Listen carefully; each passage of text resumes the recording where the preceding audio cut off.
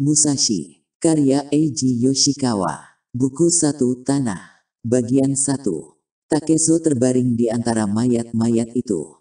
Ribuan jumlahnya. Dunia sudah gila, pikirnya samar. Manusia seperti daun kering yang hanyut ditiup angin musim gugur. Ia sendiri seperti satu di antara tubuh-tubuh tak bernyawa yang berserakan di sekitarnya. Ia mencoba mengangkat kepala, tapi hanya dapat mengangkatnya beberapa inci dari tanah. Ia tak ingat apakah pernah merasa begitu lemah. Sudah berapa lama aku di sini? Ia bertanya-tanya. Lalat-lalat mendengung di sekitar kepalanya. Ia ingin mengusirnya, tapi mengerahkan tangan untuk mengangkat tangan pun ia tak sanggup. Tangan itu kaku, hampir-hampir rapuh, seperti halnya bagian tubuh yang lain. Tentunya sudah beberapa lama tadi aku pingsan, pikirnya sambil menggerak-gerakkan jemarinya satu demi satu. Ia belum begitu sadar bahwa dirinya sudah terluka. Dua peluru bersarang erat di dalam pahanya. Awan gelap mengerikan berlayar rendah di langit. Malam sebelumnya, kira-kira antara tengah malam dan fajar, hujan deras mengguyur daratan Sekigahara. Sekarang ini lewat tengah hari tanggal 15 bulan 9 tahun 1600. Sekalipun topan telah berlalu, sekali-kali siraman hujan segar masih menimpa mayat-mayat itu. Termasuk wajah Takezo yang tengada. Tiap kali hujan menyiram ia membuka dan menutup mulutnya seperti ikan, mencoba mereguk titik-titik air itu. Seperti air yang dipakai mengusap bibir orang sekarat kenangnya sambil melahap setiap titik air yang datang. Kepalanya sudah hilang rasa, sedangkan pikirannya seperti bayang-bayang igawan yang melintas. Pihaknya telah kalah. Ia tahu betul itu. Kobayakawa Hideaki, yang dikiranya sekutu ternyata diam-diam telah bergabung dengan tentara timur. Ketika ia menyerang pasukan Ishida Mitsunari pada senja hari, jalan pertempuran pun berubah. Ia kemudian menyerang tentara panglima-panglima yang lain Ukita. Shimazu, dan Konishi. Maka sempurnalah keruntuhan tentara barat. Hanya dalam setengah hari pertempuran sudah dapat dipastikan siapa yang sejak itu akan memerintah negeri. Dialah Tokugawa Ieyasu, Daimyo Edo yang perkasa. Bayangan kakak perempuannya dan penduduk desa yang sudah tua-tua mengambang di depan matanya. Aku akan mati, pikirnya tanpa rona sedih. Jadi, beginikah rasanya? dan ia pun merasa tertarik ke arah kedamaian maut, seperti anak-anak yang terpesona oleh nyala api. Tiba-tiba salah satu mayat yang dekat dengannya mengangkat kepala Takezo. Bayang-bayang dalam kepala Takezo menghilang. Seolah terbangun dari mati, ia pun menoleh ke arah suara itu. Ia yakin itu suara teman karibnya. Dengan segenap kekuatan ia mengangkat tubuhnya sedikit dan ia paksakan keluar suara bisikan yang hampir tidak terdengar itu, karena kalah oleh titik-titik hujan. Mata Hachi, kaukah itu? Lalu ia rebah terbaring diam, mendengarkan. Takezo, betul-betul kau masih hidup. Ya, hidup. Serunya tiba-tiba keluar pongahnya. Dan kau, kau sebaiknya jangan mati juga. Jangan berani-berani. Matanya lebar terbuka sekarang, dan senyuman tipis bermain di bibirnya. Mana bisa aku mati? Oh, tidak. Sambil terengah-engah karena merangkak menyeret badan dengan susah payah, mata Hachi pun mendekati sahabatnya setapak demi setapak. Ditangkapnya tangan Takezo, tapi yang ia cengkeram dengan kelingkingnya sendiri hanyalah kelingking temannya itu. Sebagai sahabat, sejak kanak-kanak mereka sering mematrikan janji dengan cara itu.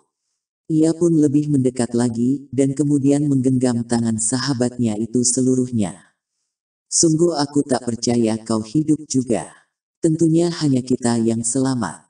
Jangan begitu terburu-buru. Aku belum mencoba berdiri. Mari ku bantu. Ayo kita pergi dari sini. Tapi tiba-tiba saja Takeso menarik mata Hachi ke tanah dan menggeram pura-pura mati. Celaka lagi. Bumi pun mulai menderung seperti kawah gunung. Lewat tangan mereka berdua tampak angin pusaran sedang mendekat. Dan semakin mendekat, baris-baris penunggang kuda sehitam jelaga meluncur langsung menuju mereka berdua. Bajingan, mereka kembali. Kata Mata Haji sambil terus mengangkat lutut seolah-olah bersiap melompat. Takezo langsung menangkap pergelangan kakinya, hingga hampir-hampir mematahkannya, serta merenggutnya ke bumi. Dalam sekejap mata, para penunggang kuda sudah terbang melewati mereka. Beratus-ratus kaki kuda yang berlumpur dan menyimpan maut mencongklang dalam formasi, menyepelekan para samurai yang sudah tewas. Sambil memperdengarkan pekikan-pekikan perang, dan dengan zirah serta senjata berdentingan, para penunggang kuda itu melaju terus. Mata Hachi berbaring menelungkup dengan mata terpejam, dengan harapan kosong semoga mereka tidak terinjak-injak, sedangkan Takezo menatap tanpa berkedip ke langit. Kuda-kuda itu begitu dekat dengan mereka, hingga mereka dapat mencium bau keringatnya. Kemudian semuanya berlalu. Secara ajaib mereka tidak terluka dan tidak dikenali, dan untuk beberapa menit lamanya keduanya tinggal diam tak percaya. Selamat lagi, kata Takezo sambil mengulurkan tangan kepada mata Hachi. Masih merangkum bumi, pelan-pelan mata Hachi memutar kepala, memperlihatkan seringai lebar yang sedikit bergetar. Ada yang berpihak pada kita itu pasti katanya Parau. Kedua sahabat itu saling bantu berdiri dengan susah payah. Pelan-pelan mereka melintasi medan pertempuran, menuju tempat aman di bukit-bukit berhutan, terpincang-pincang dan berangkulan. Di sana mereka rebah, dan sesudah beristirahat sebentar, mulailah mereka mencari-cari makanan. Dua hari mereka hidup dari buah berangan liar dan daun-daunan yang dapat dimakan di dalam lubang-lubang basah di Gunung Ibuki. Makanan itulah yang membuat mereka tidak mati kelaparan, tapi perut Takezo jadi sakit dan usus mata Hachi tersiksa.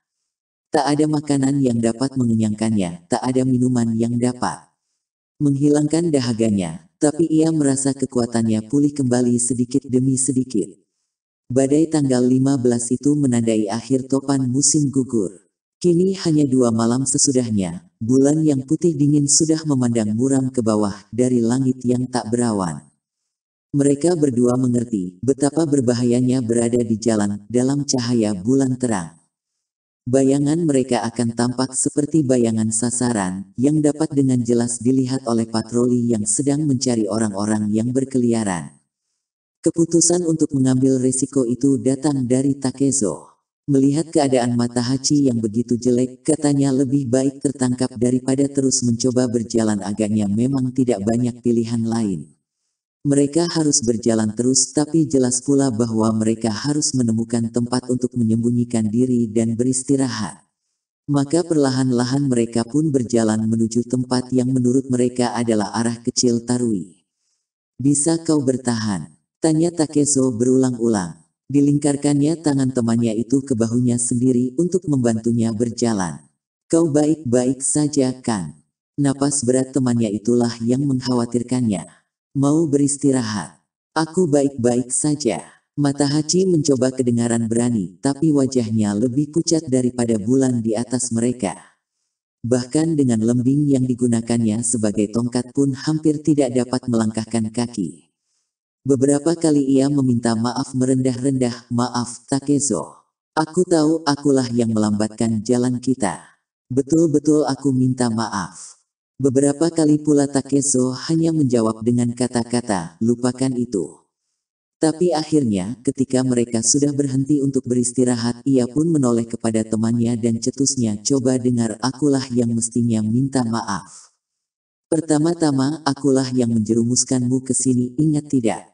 Kau ingat bagaimana aku menyampaikan rencanaku padamu, bahwa akhirnya aku-aku akan melakukan sesuatu yang bakal betul-betul mengesankan ayahku. Aku sungguh tak bisa menerima kenyataan bahwa sampai meninggalnya, ayah tetap yakin aku tak akan pernah mencapai sesuatu. Aku ingin perlihatkan padanya. Ha, Ayah Takezo, Munisai, dulu mengabdi pada yang di pertuan Simen dari Iga. Begitu Takezo mendengar bahwa Ishida Mitsunari sedang membentuk tentara ia pun yakin bahwa kesempatan yang hanya sekali seumur hidup akhirnya datang baginya. Ayahnya seorang samurai. Apakah tidak sewajarnya kalau ia pun menjadi samurai? Ingin sekali ia memasuki kancah keributan untuk membuktikan keberaniannya untuk membuat berita tersebar seperti api kebakaran melintas dusun ia telah memenggal jenderal musuh. Ia sangat ingin membuktikan dirinya sebagai orang yang harus diperhitungkan, dihormati, bukan hanya sebagai perisau dusun. Takezo mengingatkan Mata Hachi tentang semua itu, dan Mata Hachi mengangguk. Aku tahu, aku tahu. Tapi aku merasa begitu juga. Bukan hanya kau. Takezo melanjutkan, aku minta kau mengawaniku, karena kita memang selalu bersama-sama melakukan semuanya. Tapi perbuatan ibumu itu sungguh mengerikan. Dia berteriak-teriak mengatakan pada semua orang bahwa aku gila dan brengsek. Dan tunanganmu Otsu, saudara perempuanku, dan semua orang menangis. Katanya pemuda-pemuda dusun seharusnya tinggal di dusun. Ya, barangkali mereka benar juga. Kita ini anak laki-laki satu-satunya, dan kalau kita terbunuh, tidak ada yang melanjutkan nama keluarga. Tapi peduli apa? Apa begitu mestinya hidup? Mereka berhasil menyelinap keluar dusun tanpa kelihatan orang, dan merasa yakin tidak ada lagi penghalang yang memisahkan mereka dengan kehormatan pertempuran. Namun ketika sampai di perkemahan simen, mereka berhadapan dengan kenyataan perang. Mereka langsung diberitahu bahwa mereka tidak akan menjadi samurai dalam waktu singkat bahkan tidak dalam beberapa minggu tak peduli siapa ayah mereka. Bagi Ishida dan jenderal-jenderal lain, Takezo dan Matahachi hanyalah sepasang orang udik tidak banyak lebihnya dari anak-anak yang kebetulan memegang sepasang lembing. Paling banyak yang dapat mereka peroleh adalah izin untuk tinggal di sana sebagai prajurit biasa. Tanggung jawab mereka, kalaupun dapat dinamakan demikian, hanyalah mengangkut senjata periuk nasi, dan alat-alat rumah tangga lainnya, memotong rumput, mempengaruhi geng-geng jalanan, dan sesekali bertugas sebagai pandu. Samurai, ha, kata Takezo. Lelucon macam apa pula? Kepala jenderal. Mendekati samurai musuh saja tidak apalagi jenderal. Tapi setidak-tidaknya semua itu sudah lewat. Sekarang apa yang mau kita lakukan? Aku tidak bisa meninggalkanmu di sini sendirian. Kalau itu kulakukan, bagaimana aku akan menghadapi ibumu dan Otsu? Takezo, aku tidak menyalahkanmu karena kita celaka. Bukan salahmu kita kalah. Kalaupun ada yang mesti disalahkan, Kobayakawa lah orangnya. Kobayakawa yang bermuka dua itu. Betul-betul aku ingin menangkapnya. Akan kubunuh bangsat itu. Beberapa jam kemudian, mereka sudah berdiri di tepi dataran kecil, menyaksikan lautan miskantus yang serupa buluh, sudah berantakan dan patah-patah terkena badai. Tak ada rumah, tak ada cahaya. Di sini pun banyak mayat bergelimpangan seperti waktu jatuhnya. Kepala salah satu mayat itu tergeletak dalam rumput tinggi. Ada juga yang menengadah di sungai kecil. Lainnya lagi tersangkut dengan anehnya pada seekor kuda mati. Hujan telah membasuh darah, dan dalam sinar bulan daging mati itu tampak seperti sisik ikan. Di sekitar semua itu, yang terdengar hanyalah litani giring-giring dan jangkrik musim gugur yang sepi. Aliran air mata membentuk jalur putih menuruni wajah suram mata Hachi, dan ia memperdengarkan keluhan seorang yang sakit parah. Takezo, kalau aku mati, maukah kau mengurus Otsu? Apa yang kau omongkan ini? Aku merasa seperti mau mati. Takezo membentaknya, nah kalau memang itu yang kau rasakan, barangkali kau memang akan mati. Ia jengkel karena sesungguhnya ia ingin temannya itu lebih kuat, hingga ia sendiri dapat menyandarkan diri kepadanya sekali-kali, bukan secara fisik melainkan sebagai pendorong. Ayolah mata haci, jangan seperti bayi cengeng begitu. Kalau ibuku pasti ada yang mengurus tapi Otsu, dia sendirian di dunia ini. Selamanya begitu. Kasihan aku padanya, Takezo. Berjanjilah kau akan mengurusnya kalau aku tak ada. Kau mesti percaya pada diri sendiri. Tak ada orang mati karena mencret. Cepat atau lambat kita akan menemukan rumah dan kalau kita sudah menemukan rumah itu, kutidurkan kau dan akan kudapatkan obat. Sekarang hentikan rengekan tentang mati itu. Lebih jauh sedikit, sampailah mereka di tempat bertumpuknya tubuh-tubuh tanpa nyawa, hingga kelihatan seolah satu divisi penuh telah disapu habis. Waktu itu sudah hilang perasaan mereka melihat darah kental. Mata mereka berkaca-kaca menangkap pemandangan itu dengan sikap masa bodoh yang dingin. Mereka berhenti lagi, beristirahat. Selagi mereka mengatur napas, terdengar ada yang bergerak di antara mayat-mayat itu. Keduanya undur ketakutan, dan secara naluriah merundukkan badan dengan mata terbuka lebar dan perasaan diwaspadakan. Sosok tubuh itu membuat gerakan melejit cepat, seperti gerakan seekor kelinci yang terkejut. Dan ketika mata mereka sudah terpusat ke arahnya, terlihat oleh mereka orang yang entah siapa itu sedang berjongkok rendah. Semula mereka menduga ia seorang samurai yang tersesat, karena itu mereka menambahkan diri untuk menghadapi pertemuan yang berbahaya. Tapi alangkah kaget mereka karena ternyata prajurit dahsyat itu hanyalah seorang gadis muda. Gadis itu agaknya berumur sekitar 13 atau 14 tahun, mengenakan kimono dengan lengan digulung. Obi sempit yang membelit pinggangnya sudah bertambal-tambal di beberapa tempat namun terbuat dari brokat emas. Di tengah himpunan mayat itu, ia betul-betul merupakan pemandangan yang ganjil. Ia melayangkan pandang dan menatap mereka dengan penuh kecurigaan, dengan mata kucing yang licik. Takezo dan Matahachi heran akan hal yang sama apa yang menyebabkan gadis itu dating di malam buta itu. Sekejap keduanya hanya balas memandang gadis itu. Kemudian Takezo berkata, siapa kau? Gadis itu mengerdip beberapa kali, berdiri, lalu nyah dari situ. Stop, seru Takezo, aku cuma mau mengajukan satu pertanyaan padamu. Jangan pergi dulu. Tapi gadis itu sudah pergi, seperti kilasan kilat di tengah malam. Dan bunyi giring-giring kecil pun menghilang ke dalam ngeri kegelapan. Apa kemungkinan itu hantu? Renung Takezo keras, sementara ia memandang kosong ke dalam kabut tipis. Mata Hachi menggigil sedikit tapi memaksakan diri tertawa.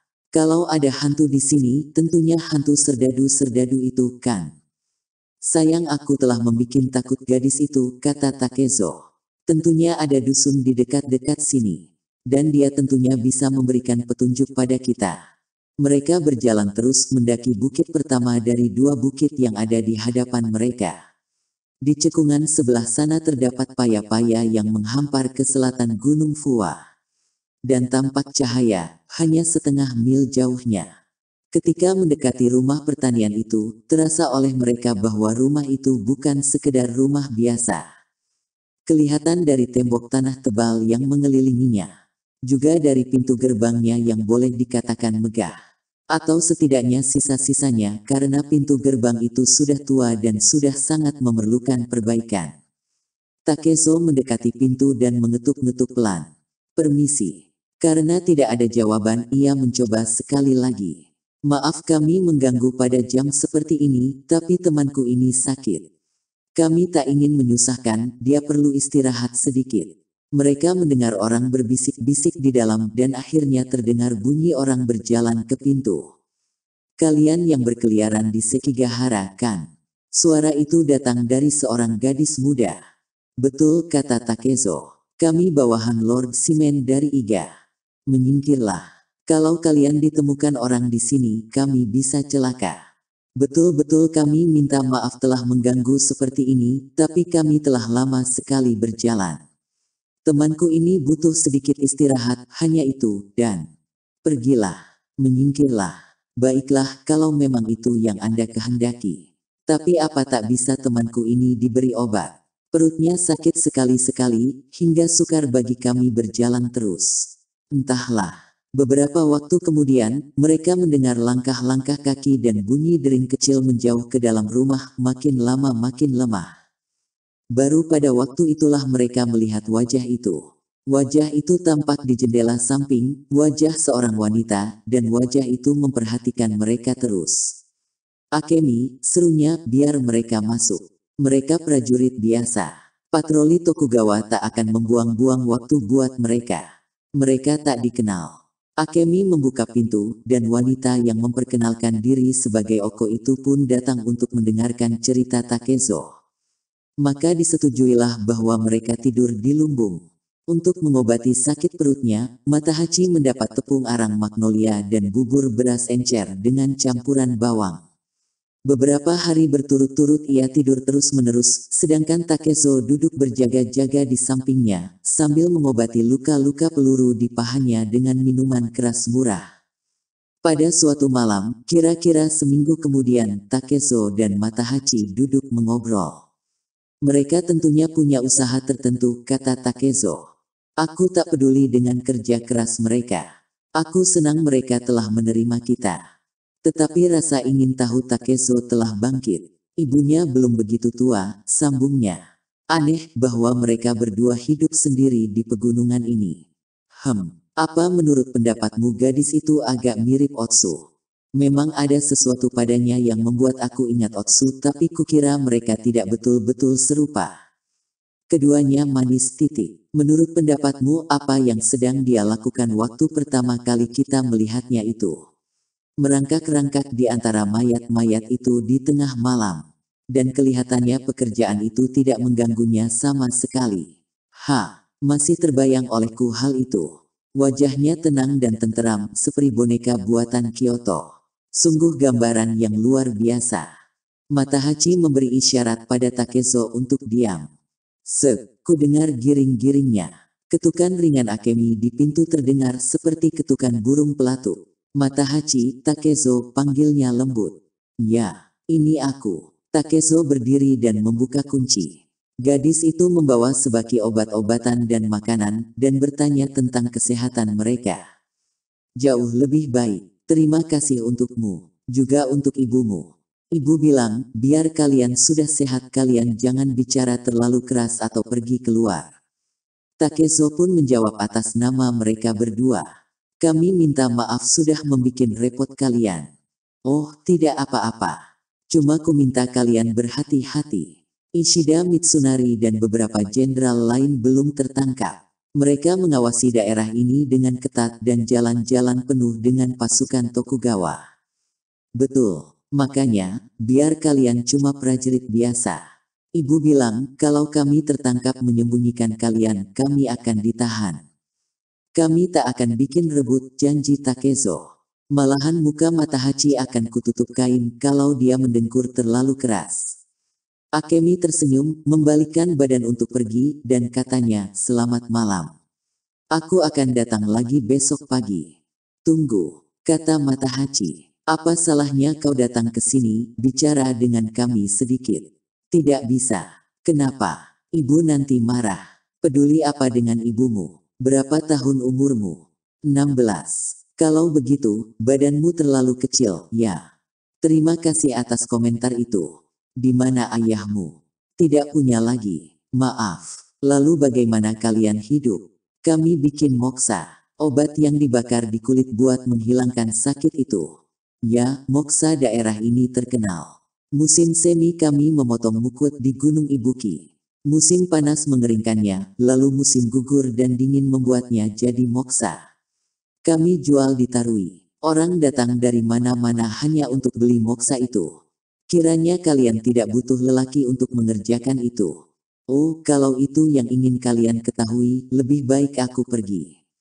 Nanti dulu, sedikit lagi, kata Takezo. Ada satu pertanyaan lagi. Apa itu? Malam ketika kami datang kemari itu, kami melihat seorang gadis di medan pertempuran, dan dia mirip sekali denganmu. Apa itu kau? Akemi cepat membalikkan badan dan membuka pintu. Apa kerjamu di sana? Gadis itu membanting pintu di belakangnya. Dan ketika ia berjalan ke rumah itu, giring-giring kecil pun berdering dengan iramanya yang aneh dan sumbang. Sisir. Dengan tinggi sekitar 1,75 meter, Takezo cukup jangkung untuk orang sezamannya. Tubuhnya seperti tubuh kuda yang indah kuat dan lentur dengan kaki panjang berotot. Bibirnya penuh berwarna merah tua dan alisnya yang hitam tebal jadi tampak tidak lebat karena bentuknya yang indah. Karena jauh melampaui sudut-sudut luar matanya, alis itu pun menambah kejantanannya. Orang-orang kampung menyebutnya, anak tahun yang gemuk, suatu ungkapan yang hanya dipakai untuk anak dengan badan lebih besar dari rata-rata. Sebutan itu jauh dari maksud menghina, tapi bagaimanapun membuatnya ada jarak dengan anak-anak muda lain, dan itu membuatnya cukup malu pada masa kanak-kanaknya. Ungkapan itu tidak pernah dipergunakan untuk menggambarkan mata haci, namun dapat pula dikenakan padanya. Ia agak lebih pendeka dan pejal daripada Takezo, dadanya bidang dan besar, dan wajahnya bulat memberikan kesan priang kalau bukan sifat badut sejati. Matanya yang besar dan sedikit menonjol itu cenderung bergerak ketika ia berbicara, dan kebanyakan lulukon yang dibuat orang untuk merendahkannya berpusat pada kemiripannya dengan katak yang yak henti-hentinya berdengkung pada malam-malam musim panas. Kedua pemuda itu sedang berada di puncak usia pertumbuhan mereka, dan karenanya cepat pulih dari sebagian besar penyakit. Ketika luka-luka Takezo sudah sepenuhnya sembuh, mata Hachi pun tidak dapat lagi menahan hambatan yang dirasakannya. Mulailah ia berjalan mondar-mandir di seputar lumbung, dan tak henti-hentinya mengeluh karena merasa terkurung. Tidak hanya sekali ia membuat kesalahan, dengan mengatakan bahwa ia merasa seperti jangkrik di dalam lubang yang gelap dan jangkrik memang suka pada suasana hidup seperti itu. Mata Haji tentunya telah mulai mengintip ke dalam rumah karena pada suatu hari ia mendekatkan mulutnya kepada teman seselnya itu, seolah hendak menyampaikan berita yang mengguncangkan dunia. Tiap malam, bisiknya genting, janda itu membedaki mukanya dan mempercantik diri. Muka Takeso pun jadi seperti anak umur 12 tahun yang benci anak gadis melihat pengkhianatan teman karibnya yang makin tertarik kepada mereka itu.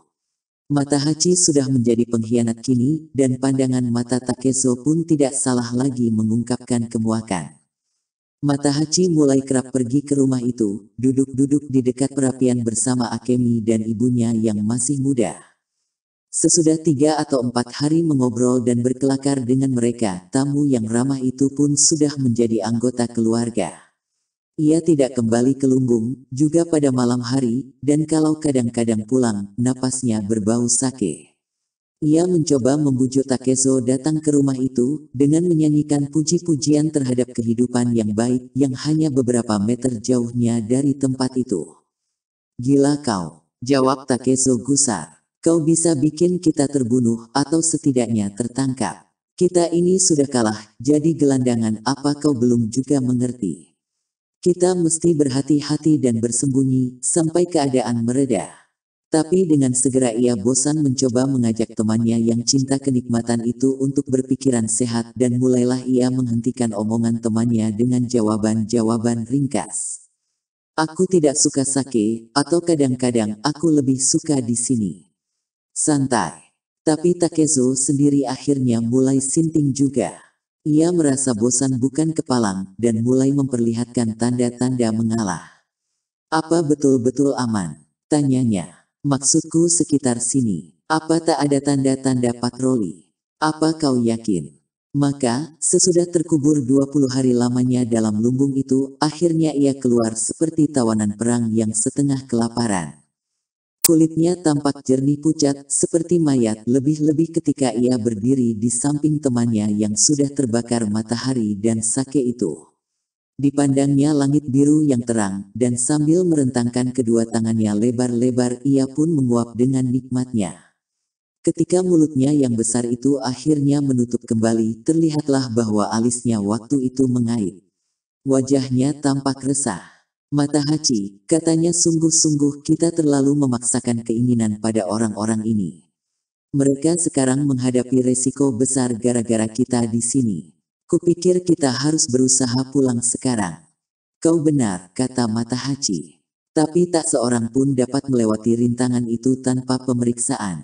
Jalan ke Ise dan Kyoto tak bisa ditempuh menurut janda itu. Katanya, kita mesti bertahan sampai salju turun.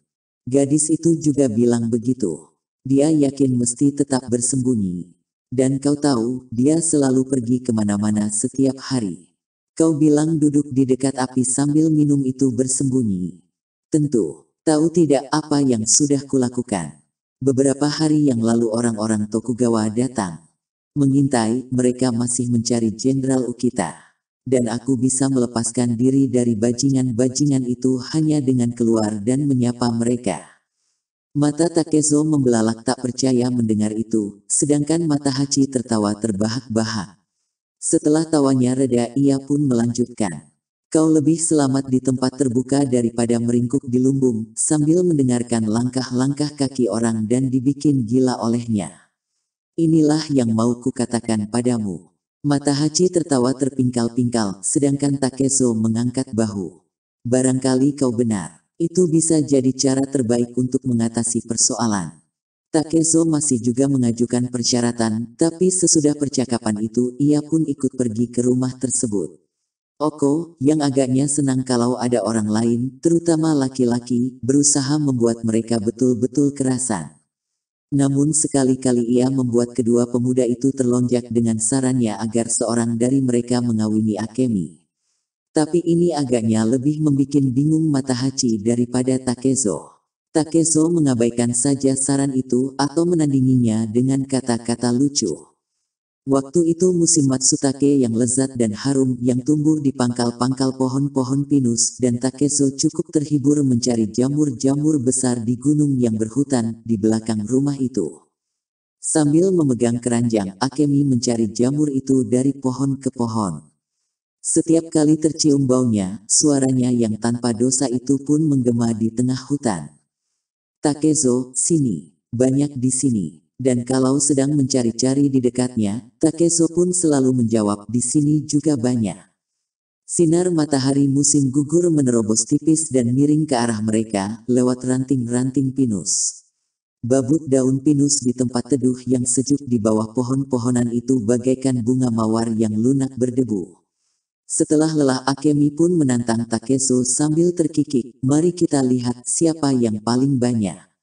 Aku, jawab Takeso pasti. Mendengar itu, Akemi pun mulai memeriksa keranjang Takeso. Hari ini tidak beda dengan hari-hari lain. Ha, ha, aku tahu, teriak Akemi. Dengan rasa kemenangan penuh kegembiraan yang hanya bisa terjadi pada gadis semuda itu, dan tanpa kesadaran diri ataupun sikap sopan yang dibuat-buat ia pun menunduk ke keranjang Takezo. Yang banyak kau dapat itu jamur payung.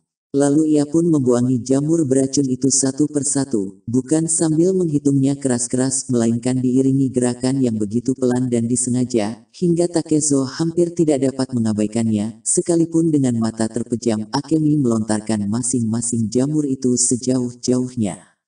Selesai dengan tugas itu, ia pun menengadah dengan wajah membinarkan rasa puas diri. Sekarang lihat aku dapat jauh lebih banyak daripada kau. Sudah siang sekarang, gumam Takezo. Mari pulang. Kau marah karena kalahkan. Akemi pun berlari kencang seperti ayam pegar menuruni sisi bukit, tapi sekonyong-konyong ia berhenti, wajahnya dipenuhi rasa terkejut. Seorang lelaki raksasa datang lurus mendekat lewat belukar, setengah jalan menuruni lereng bukit, langkah langhanya panjang dan tenang, matanya yang tajam menatap langsung kepada gadis muda yang rapuh di hadapannya. Orang itu tampak primitif luar biasa. Segala sesuatu pada dirinya bernada perjuangan untuk tetap hidup, dan ia menampakkan ciri suka berkelahi, alis yang lebat dan ganas, dan bibir atas yang tebal melingkar pedang berat, jubah zirah, dan kulit binatang melengkapi dirinya. Akemi, raungnya seraya mendekati gadis itu. Ia menyeringai lebar, memperlihatkan giginya yang kuning melapuk tapi wajah Akemi tetap saja menyiratkan kengerian belaka. Apa ibumu yang hebat itu ada di rumah? Tanyanya dengan ejekan yang dibuat-buat. Ya, cicit Akemi. Nah, kalau nanti kau pulang, ceritakan sesuatu padanya.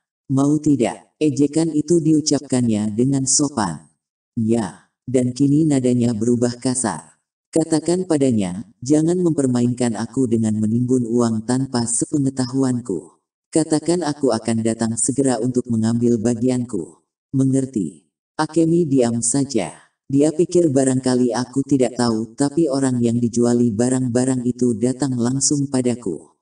Aku berani bertaruh kau pergi juga ke Sekigahara, bukan, nak.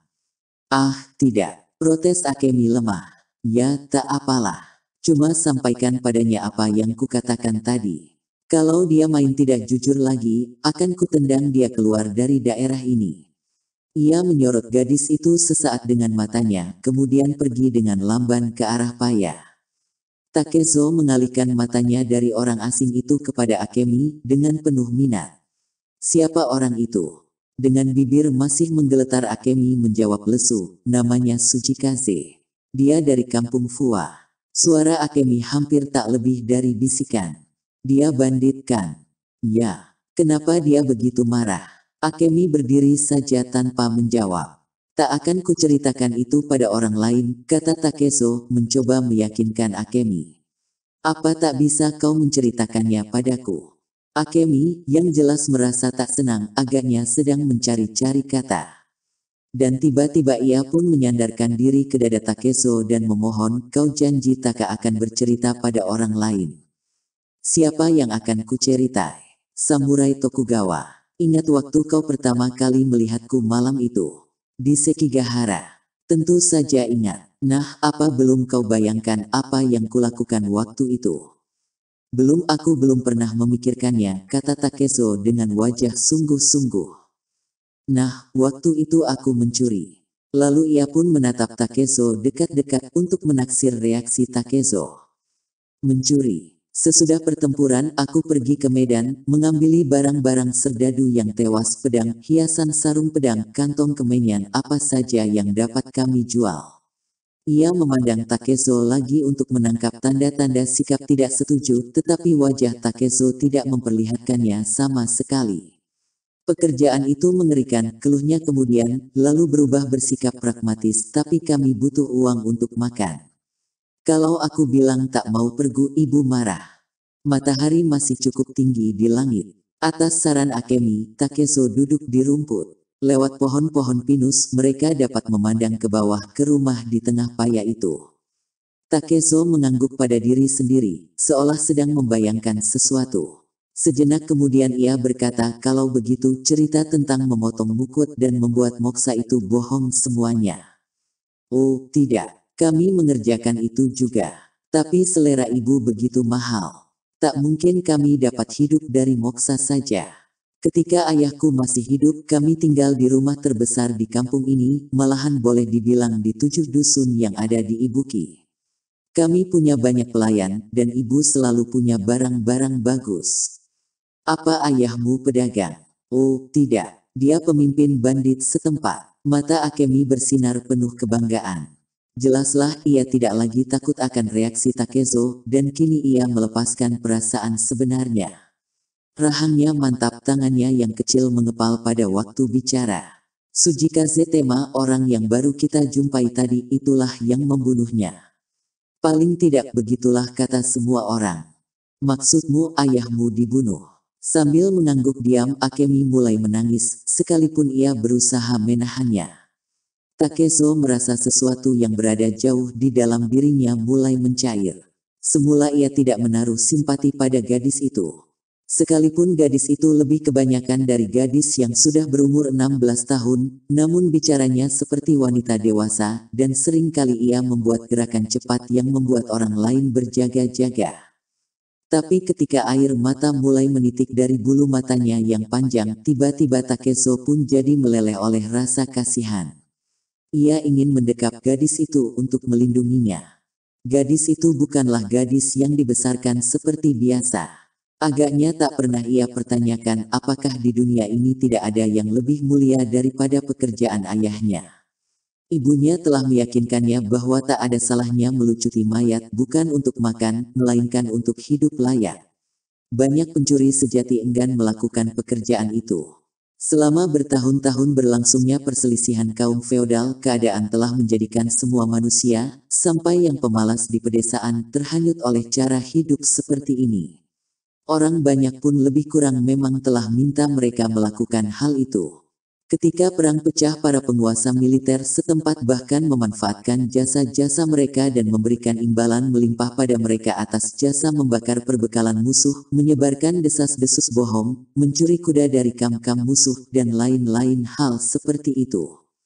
Yang paling sering terjadi adalah jasa-jasa mereka dibeli orang. Tapi, sekalipun tidak dibeli, perang menawarkan banyak kesempatan. Di samping berkeliaran di antara mayat-mayat untuk mengumpulkan barang-barang berharga, kadang-kadang mereka berhasil mendapat hadiah dari menyerahkan kepala samurai yang kebetulan tersandung oleh mereka dan kemudian mereka pungut. Satu saja pertempuran besar sudah cukup bagi para pencuri bejat ini hidup senang enam bulan atau setahun. Pada waktu-waktu bergolak, petani atau pembelah kayu biasa pun sudah tahu mengambil keuntungan dari kesengsaraan orang dan pertumpahan darah. Perkelahian di luar kampung sendiri sudah bisa membuat orang-orang sederhana ini meninggalkan pekerjaan, dan dengan cakapnya mereka menyesuaikan diri dengan situasi, dan menemukan cara untuk memunguti sisa-sisa hidup manusia lain, seperti burung pemakan bangkai. Sebagian karena gangguan inilah para penjara profesional menetapkan perlindungan keras atas wilayah masing-masing. Sudah menjadi peraturan keras bahwa para pemburu liar, yaitu perampok-perampok yang melanggar hak-hak yang telah dimiliki para penjahat kejam ini dapat dikenai pembalasan dendam. Akemi pun menggigil dan katanya, apa akal kita? Orang-orang bayaran tema sedang dalam perjalanan kemari sekarang. Aku tahu itu. Jangan khawatir, kata Takezo meyakinkannya. Kalau mereka nanti muncul, aku sendiri yang akan menyambut mereka. Ketika mereka turun bukit, senja telah turun di atas paya itu, dan segalanya sunyi. Jejak asap api pemandian di rumah itu merayap di area puncak jajaran rumput mendong, seperti ular yang melenggok-lenggok di langit. Oko sedang berdiri santai di pintu belakang, seusai melakukan riasan malam. Ketika melihat anak perempuannya datang bersama Takezo, ia pun berseru, Akemi, apa kerjamu sampai begini larut? Terasa benar tajamnya mata dan suaranya. Gadis itu pun segera tersadar, sesudah begitu lama ia berjalan dengan kepala kosong. Ia memang lebih peka terhadap suasana hati ibunya daripada apa pun di dunia ini. Ibunya telah menanamkan kepekaan ini dan telah berhasil memanfaatkannya, mengendalikan anak gadis itu seperti boneka, hanya dengan pandangan atau gerak-geriknya. Cepat-cepat Akemi menjauh dari sisi Takezo, dan dengan wajah memerah ia pun mendahului dan masuk rumah. Hari berikutnya, Akemi menyampaikan pada ibunya tentang Sujikaze tema. Oko naik pitang. Kenapa tidak cepat-cepat kau ceritakan? Raungnya sambil menyeruduk ke sana kemari seperti perempuan gila, menarik-narik rambutnya, mengeluar-ngeluarkan barang dari laci dan lemari dan mengonggokkan semuanya di tengah kamar. Mata Hachi Takezo, bantu aku. Semua ini mesti kita sembunyikan. Mata Hachi menggeser sebuah papan yang ditunjukkan oleh Oko, lalu ia menempatkan diri di atas langit-langit.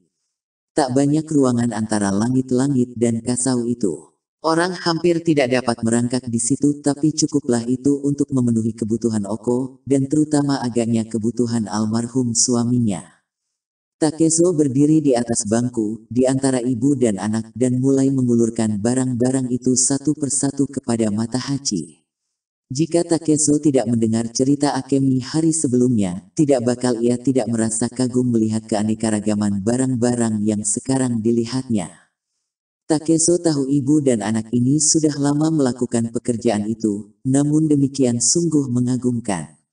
Betapa banyaknya barang yang mereka timbun. Ada belati umbai lembing, lengan baju zirah, helm tanpa mahkota kuil mini yang dapat dibawa-bawa tasbih Buddha tiang bendera. Bahkan ada sandal berlak berukir indah dan bertata emas perak dan indung mutiara. Dari lubang di langit-langit, mata Hachi mengintip keluar dengan wajah bingung. Sudah semua. Tidak ada satu lagi, kata Oko seraya pergi cepat-cepat. Sesaat kemudian ia sudah kembali membawa sebilah pedang, satu seperempat meter panjangnya, dari kayu ek hitam. Takezo mulai mengeluarkan barang itu pada mata Hachi, tetapi bobot, lengkung dan sempurnanya keseimbangan senjata itu demikian mengesankannya, sampai tak dapat ia melepaskannya. Ia pun menoleh kepada Oko dengan pandangan tersipu. Apa tak bisa ibu menghadiahkan ini padaku? Tanyanya dengan mata memancarkan kepasrahan. Ia memandang kakinya sendiri, seakan-akan hendak mengatakan bahwa ia memang belum melakukan sesuatu Yahge pantas mendapat ganjaran pedang itu. Apa kau betul-betul menginginkannya? Jawab nyonya itu dengan lembut dengan nada seorang ibu. Ya, ya tentu. Sekalipun wanita itu tidak benar-benar mengatakan Takezo boleh memilikinya, namun ia tersenyum, memperlihatkan dekik pipinya, dan tahulah Takezo bahwa pedang itu sudah menjadi miliknya. Mata Hachi melompat turun dari langit-langit meledak oleh rasa iri. Ia pun meraba-raba pedang itu dengan tamaknya, membuat Oko tertawa. Coba lihat orang kecil ini merajuk karena tidak dapat hadiah. Ia mencoba menentramkan hati mata Hachi dengan memberikan pundit-pundi kulit yang manis dan berbatu akik. Mata Hachi tidak tampak terlalu senang. Matanya terus tertuju kepada pedang kayu ek hitam itu. Perasaannya terluka, dan pundit pindi itu hanya sedikit dapat menyembuhkan harga dirinya yang terluka. Keika suaminya masih hidup, Oko rupanya punya kebiasaan mandi uap secara santai tiap malam, merias diri, dan kemudian minum sedikit sake. Singkatnya, ia menghabiskan waktu untuk merias diri sebanyak yang dihabiskan geisha yang terbesar bayarannya. Ini bukanlah jenis kemewahan yang dapat dikembangkan oleh orang biasa, tetapi ia berkeras melakukannya. Bahkan ia telah mengajar Akemi mengikuti kebiasaan yang sama itu, sekalipun gadis itu menganggapnya menjemukan, dan alasannya tidak dapat ia pahami. Oko tidak hanya suka senang, ia pun berketetapan untuk tetap muda selama-lamanya. Malam itu, selagi mereka duduk di sekitar perapian ceruk, Oko menuangkan sake untuk mata Hachi dan mencoba meyakinkan Takezo untuk juga mencobanya. Ketika Takezo menolak, ia letakkan mangkuk itu ke tangan Takezo, ia tangkap pergelangan tangannya, dan ia paksa Takezo mengangkat mangkuk itu ke bibirnya. Laki-laku sudah sewajarnya minum umpatnya. Kalau kau tidak dapat melakukannya sendiri akan kubantu. Berulang kali mata Hachi menatap Oko dengan perasaan tak enak. Sada akan pandangan mata Hachi itu, Oko bahkan semakin berani terhadap Takezo. Sambil meletakkan tangannya secara main-main di lutut Takezo. Mulailah ia mendendangkan lagu cinta yang sedang populer. Sampai di sini, mata Hachi pun merasa sudah sampai batas kesabarannya. Sambil tiba-tiba menoleh kepada Takezo, ia berucap kita mesti lekas meneruskan perjalanan. Ucapan ini mencapai sasarannya. Tapi, tapi, ke mana kalian akan pergi? Tanya Oko terbata-bata. Kembali ke Miyamoto. Ibuku dan tunanganku tinggal di sana. Oko hanya sekejap terkejut, sebentar kemudian ia sudah dapat menguasai dirinya kembali. Matanya menyempit, senyumnya membeku, dan suaranya menjadi getir. Nah, harap dimaafkan karena aku telah menghambat kalian, telah menerima kalian, dan memberikan tempat pada kalian. Kalau memang ada gadis yang menanti kalian, lebih baik kalian lekas-lekas saja pulang. Jangan kiranya aku menahan kalian. Sesudah menerima pedang ek hitam itu, Takeso tak pernah lagi terpisah darinya. Memegangnya saja merupakan kenikmatan yang tak terlukiskan baginya. Sering ia meremas gagang pedang itu erat-erat, atau menggesekkan sisinya yang tumpul pada telapak tangannya, hanya untuk merasakan betapa sesuai lengkung dengan panjangnya. Bila tidur ia dekat pedang itu ke tubuhnya. Sentuhan dingin permukaan kayu itu pada pipinya mengingatkannya pada lantai dojo, di mana ia pernah mempraktekkan teknik-teknik main pedang pada musim dingin. Alat yang hampir sempurna, dan sekaligus merupakan benda seni dan maut ini, membangkitkan kembali di dalam dirinya semangat tempur yang telah ia warisi dari ayahnya. Takezo mencintai ibunya, tetapi ibu itu telah meninggalkan ayahnya dan pergi ketika Takezo masih kecil, meninggalkannya sendirian dengan Munisai, seorang ayah yang gila tata tertib, yang tak tahu bagaimana memanjakan anak dalam suasana yang tidak menguntungkan seperti itu. Apabila ayahnya ada, anak itu selalu merasa kikuk dan ketakutan, tidak pernah merasa santai. Ketika berumur sembilan tahun, begitu besar hasratnya akan kata manis ibunya, hingga ia pernah melarikan diri dari rumah dan nekat pergi ke Provinsi Harima tempat ibunya tinggal. Takezo tak pernah mengerti mengapa ibu dan ayahnya bercerai, dan pada umur sekian, penjelasan tentang itu pun tidak akan banyak menolong. Ibunya telah kawin dengan samurai lain dan mendapat seorang anak lagi. Begitu pelarian kecil itu sampai di Harima, ia tidak membuang-buang waktu lagi untuk menemukan ibunya. Ibunya lalu membawanya ke daerah hutan di belakang kuil setempat supaya tidak kelihatan orang, dan di sana sambil berurai air mata ia pun memeluk anaknya itu erat-erat dan menyuruhnya kembali kepada ayahnya. Takezo tak pernah melupakan adegan itu, setiap detailnya akan tetap hidup dalam kenangannya sepanjang umurnya. Sebagai seorang samurai, tentu saja Munisai mengirimkan orang-orangnya untuk memperoleh kembali anaknya, begitu ia mengetahui anaknya hilang. Sudah jelas ke mana perginya anak itu. Takezo pun dikembalikan ke Miyamoto seperti seikat kayu bakar, diikat di punggung kuda yang tidak bersadel. Sebagai pembuka, Munisai menyebutnya anak bandel yang kurang ajar, dan dengan keberangan yang hampir mencapai histeris ia sabet anaknya sampai ia tak kuat menyabet lagi. Takezo ingat lebih gamblang daripada apa pun di dunia ini, betapa sengit ultimatum ayahnya waktu itu. Kalau sekali lagi kau pergi ke ibumu tak akan kuakui kau sebagai anak. Tidak lama sesudah kejadian itu, Takezo mendengar kabar bahwa ibunya jatuh sakit dan meninggal. Kematian itu berakibat berubahnya Takezo dari seorang anak pendiam dan pemurung menjadi anak kampung yang jahil. Munisai pun akhirnya menjadi takut. Ketika ia mendatangi anak itu dengan pentung, anak itu menantangnya dengan tongkat kayu. Satu-satunya orang yang bisa menandinginya adalah Matahachi, yang juga anak seorang samurai. Semua anak lain tunduk pada perintah Takezo.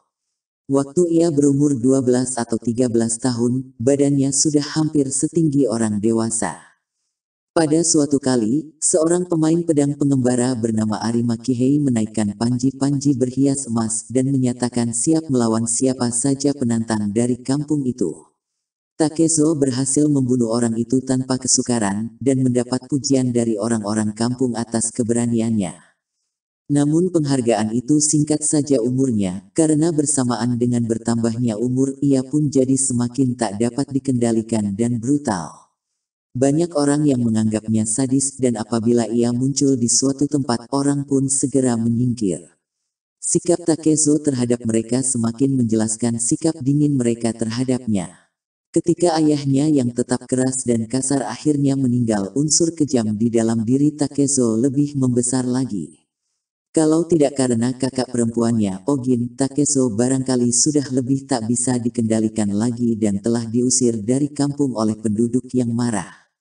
Untunglah ia menyayangi kakaknya, dan karena tak tahan melihat air mata kakaknya, biasanya ia pun melakukan apa saja yang diminta kakaknya. Pergi perang bersama Matahachi merupakan titik balik bagi Takezo. Hal itu menunjukkan bahwa bagaimanapun ia mau merebut kedudukan di tengah masyarakat, sejajar dengan orang-orang lain. Tetapi kekalahan di Sekigahara sekonyong-konyong telah menghilangkan harapan-harapan seperti itu, dan ia pun mendapati dirinya sekali lagi tercebur ke dalam kenyataan gelap yang menurut anggapannya telah ia tinggalkan. Namun ia seorang pemuda yang diberkati sifat riang yang mulia, yang hanya dapat berkembang di zaman perjuangan. Selagi tidur, wajahnya setenang wajah bayi, sama sekali tak terusik oleh pikiran-pikiran hari esok. Memang ia mengalami juga mimpi-mimpi, baik di waktu tidur maupun terjaga, tapi tidak banyak ia mengalami kekecewaan yang sebenar-benarnya. Karena modalnya hanya sedikit, maka hanya sedikit pula ia kehilangan. Sekalipun dalam makna tertentu ia sudah tercerabut, namun ia terbebaskan juga dari belenggu. Melihat napasnya yang dalam dan tetap, sementara ia memeluk erat pedang kayunya itu, barangkali Takeso sedang bermimpi, senyuman halus tersungging pada bibirnya, sedangkan bayangan kakak perempuannya yang lembut dan kota kelahirannya yang damai berpancaran turun seperti air terjun dari gunung, di hadapan matanya yang terpejam dan berbulu lebat itu. Oko menyelinap ke dalam kamarnya sambil membawa lampu. Sungguh wajah yang damai, bisik Oko dengan kagum, lalu ia pun mengulurkan tangan dan menyentuh sedikit bibir Takezo dengan jemarinya. Kemudian ia mematikan lampu dan berbaring di samping Takezo. Seraya meringkuk seperti kucing, sedikit demi sedikit ia merapatkan tubuhnya ke tubuh Takezo, sementara wajahnya yang putih dan gaun malam warna-warni yang betul-betul terlampau muda untuknya itu terbenam dalam kegelapan. Yang kedengaran saat itu hanyalah titik-titik embun yang jatuh di ambang jendela. Ingin tahu juga apakah dia masih perjaka kagumnya sambil mengulurkan tangan untuk menyingkirkan pedang kayu itu. Tapi begitu ia menyentuh pedang itu, Takeso langsung berdiri dan berteriak pencuri. Pencuri. Oko terlempar ke lampu, hingga bahu dan dadanya luka, dan Takeso memelintir tangannya tanpa ampun lagi. Oko menjerit kesakitan. Karena kagetnya, Takeso pun melepaskannya. Oh, jadi ini tadi ibu. Aku pikir pencuri. Oh, rintih Oko. Sakit, maaf, aku tidak tahu. Kau ini tak kenal kekuatan badan sendiri. Hampir lepas tanganku. Aku sudah minta maaf. Mau apa ibu di sini? Oko tak menghiraukan pertanyaan Takezo yang polos itu, ia tidak merasakan lika tangannya, dicobanya melingkarkan anggota badannya itu ke leher Takezo, dan gumamnya, kau tak perlu minta maaf. Takezo, ia pun menggosokkan punggung tangannya lembut-lembut ke pipi Takezo. Hai, apa pula ini? Apa ibu gila? Teriak Takezo sambil meloloskan diri dari sentuhan wanita itu. Jangan ribut begitu tolol. Kau tahu perasaanku padamu. Oko terus mencoba membelai Takezo tapi Takezo menepak-nepaknya seperti orang diserang gerombolan lebah. Ya, dan aku sangat berterima kasih. Kami berdua tak akan melupakan betapa besar kebaikan ibu yang telah menerima kami dan segalanya itu. Maksudku bukan itu Takezo. Aku bicara tentang perasaan wanitaku, tentang perasaan yang indah dan hangat terhadapmu. Tunggu dulu, kata Takezo sambil melompat berdiri. Akan kunyalakan lampu. Oh, bagaimana kau bisa begini kejam rengek Oko, dan bergerak lagi akan memeluk Takezo. Jangan, teriak Takezo marah. Hentikan, sungguh. Hentikan. Ada sesuatu dalam suara Takezo yang membuat Oko takut dan menghentikan serangannya, sesuatu yang tegas dan mantap. Takezo merasa tulang-tulangnya bergoyang dan giginya gemeretuk. Tidak pernah ia menghadapi lawan yang demikian berat. Bahkan ketika telentang di bawah kuda-kuda yang mencongklang lewat di Sekigahara, tak pernah jantungnya demikian berdentam. Ia pun duduk ngeri di sudut kamar, ku minta ibu pergi dari sini, mohonnya. Kembalilah ke kamar ibu sendiri. Kalau tidak akan kupanggil mata haji. Akan kubangunkan seisi rumah. Oko tidak beranjak. Ia duduk saja di kegelapan dengan napas berat dan dengan mata menciut ia pun menatap Takezo. Ia tak mau ditolak. Takezo, gumamnya lagi. Apa kau tidak memahami perasaanku? Takezo tidak menjawab. Tidak memahami. Ya, tapi apa ibu memahami perasaanku? Diserang selagi tidur, dibikin takut setengah mati, dan dianiaya seekor macan dalam gelap. Kini giliran Oko yang diam.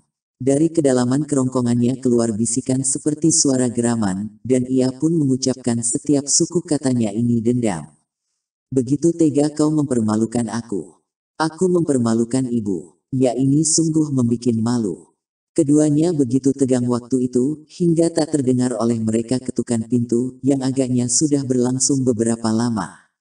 Ketukan itu dipertegas lagi oleh teriakan-teriakan. Ada apa di dalam? Apa kau tuli? Buka pintu. Berkas cahaya tampak di celah daun jendela. Akemi terbangun. Kemudian langkah kaki mata Hachi. Terdengar mendekat dan suaranya berseru ada apa. Kemudian dari gang rumah Akemi berseru resah ibu. Apa ibu di situ? Jawab bu. Oko menyerobot cepat kembali ke kamarnya sendiri yang berdekatan dengan kamar Takezo. Ia menjawab dari situ. Orang-orang lelaki di luar rupanya mendobrak daun jendela dan menyerbu ke dalam. Sampai di kamat perapian, Oko melihat enam atau tujuh pasang bahu lebar menyerbu dapur yang berdekatan dan berlantai kotor. Letaknya agak di bawah karena memang dibuat lebih rendah dari ruangan-ruangan lain. Seorang di antaranya berteriak, Sucikaze tema di sini. Kasih lampu. Orang-orang itu menyerobot masuk ke dalam ruang tamu. Mereka bahkan tidak melepas sandal, suatu tanda kekasaran yang sudah melekat. Mereka mulai melongok ke sana kemari, ke lemari, ke laci-laci, ke bawah tatami jerami tebal tang menutup lantai. Tema mendudukkan diri dengan megahnya di dekat perapian, sambil mengawasi kaki tangannya menggeledah ruangan-ruangan itu dengan sistematis. Ia betul-betul menikmati pekerjaan itu, tapi dengan segera ia bosan karena tidak melakukan apa-apa. Terlalu lama, geramnya, sambil menghantamkan tinju ke tatami. Kau pasti menyimpannya sebagian di sini. Di mana barang itu? Aku tak mengerti apa yang kau bicarakan, jawab Oko sambil melipat dengan sabar kedua tangannya di perut. Jangan bicara begitu, perempuan. Lenguh tema. Mana barang itu? Aku tahu barang itu ada di sini. Aku tak punya apa-apa. Tak punya, tak punya. Kalau begitu, barangkali memang kau tidak memilikinya. Barangkali salah informasi yang kuterima. Ia pun memandang Oko dengan tajam, sambil menarik-narik dan menggaruk-garuk jenggotnya. Cukup anak-anak, gunturnya. Sementara itu, Oko sudah duduk di kamar sebelah. Pintu dorongnya terbuka lebar, seakan-akan hendak mengatakan bahwa tema dapat memeriksa terus tempat yang dicurigainya. Oko panggil tema kasar. Apa maumu? Terdengar jawaban dingin. Bagaimana kalau minum sedikit? Mau sedikit air? Jangan paksa aku, ancam tema memperingatkan. Sake ada di sana. Minumlah kalau mau. Ai Oko, kata tema melunak. Ia hampir-hampir mengagumi Oko karena sikap keras kepalanya yang dingin. Jangan begitu. Aku sudah lama tak berkunjung. Apa begini caranya menyambut teman lama? Berkunjung. Sudahlah kau ikut bersalah juga. Sudah banyak yang kudengar tentang apa yang dilakukan, janda tukang moksa dari berbagai orang, sampai rasanya tak mungkin semua itu bohong. Kudengar kau menyuruh anakmu yang cantik itu memereteli mayat-mayat. Nah, kenapa dia mesti melakukan hal seperti itu? Tunjukkan padaku buktinya. Jerit Oko. Mana buktinya? Kalau ada rencanaku menggalinya, mana mungkin aku mengingatkan Akemi sebelumnya? Kau tahu sendiri aturan permainannya. Ini wilayahku, dan aku harus memeriksa rumahmu. Kalau tidak, semua orang akan menyangka mereka bisa lepas begitu saja sesudah melakukan hal seperti itu. Kalau begitu, di mana? Nanti tempatku. Aku harus melindungi diriku tahu. Oko menatap tema dalam kediaman baja, kepalanya setengah tertoleh kepadanya, sedangkan dagu dan hidungnya terangkat bangga. Baiklah, akan kulepaskan kau kali ini. Tapi ingat, aku bersikap baik sekali kepadamu sekarang. Baik kepadaku. Siapa? Kau, menggelikan. Oko, bujuk tema ke sinilah dan tuangkan minuman untukku.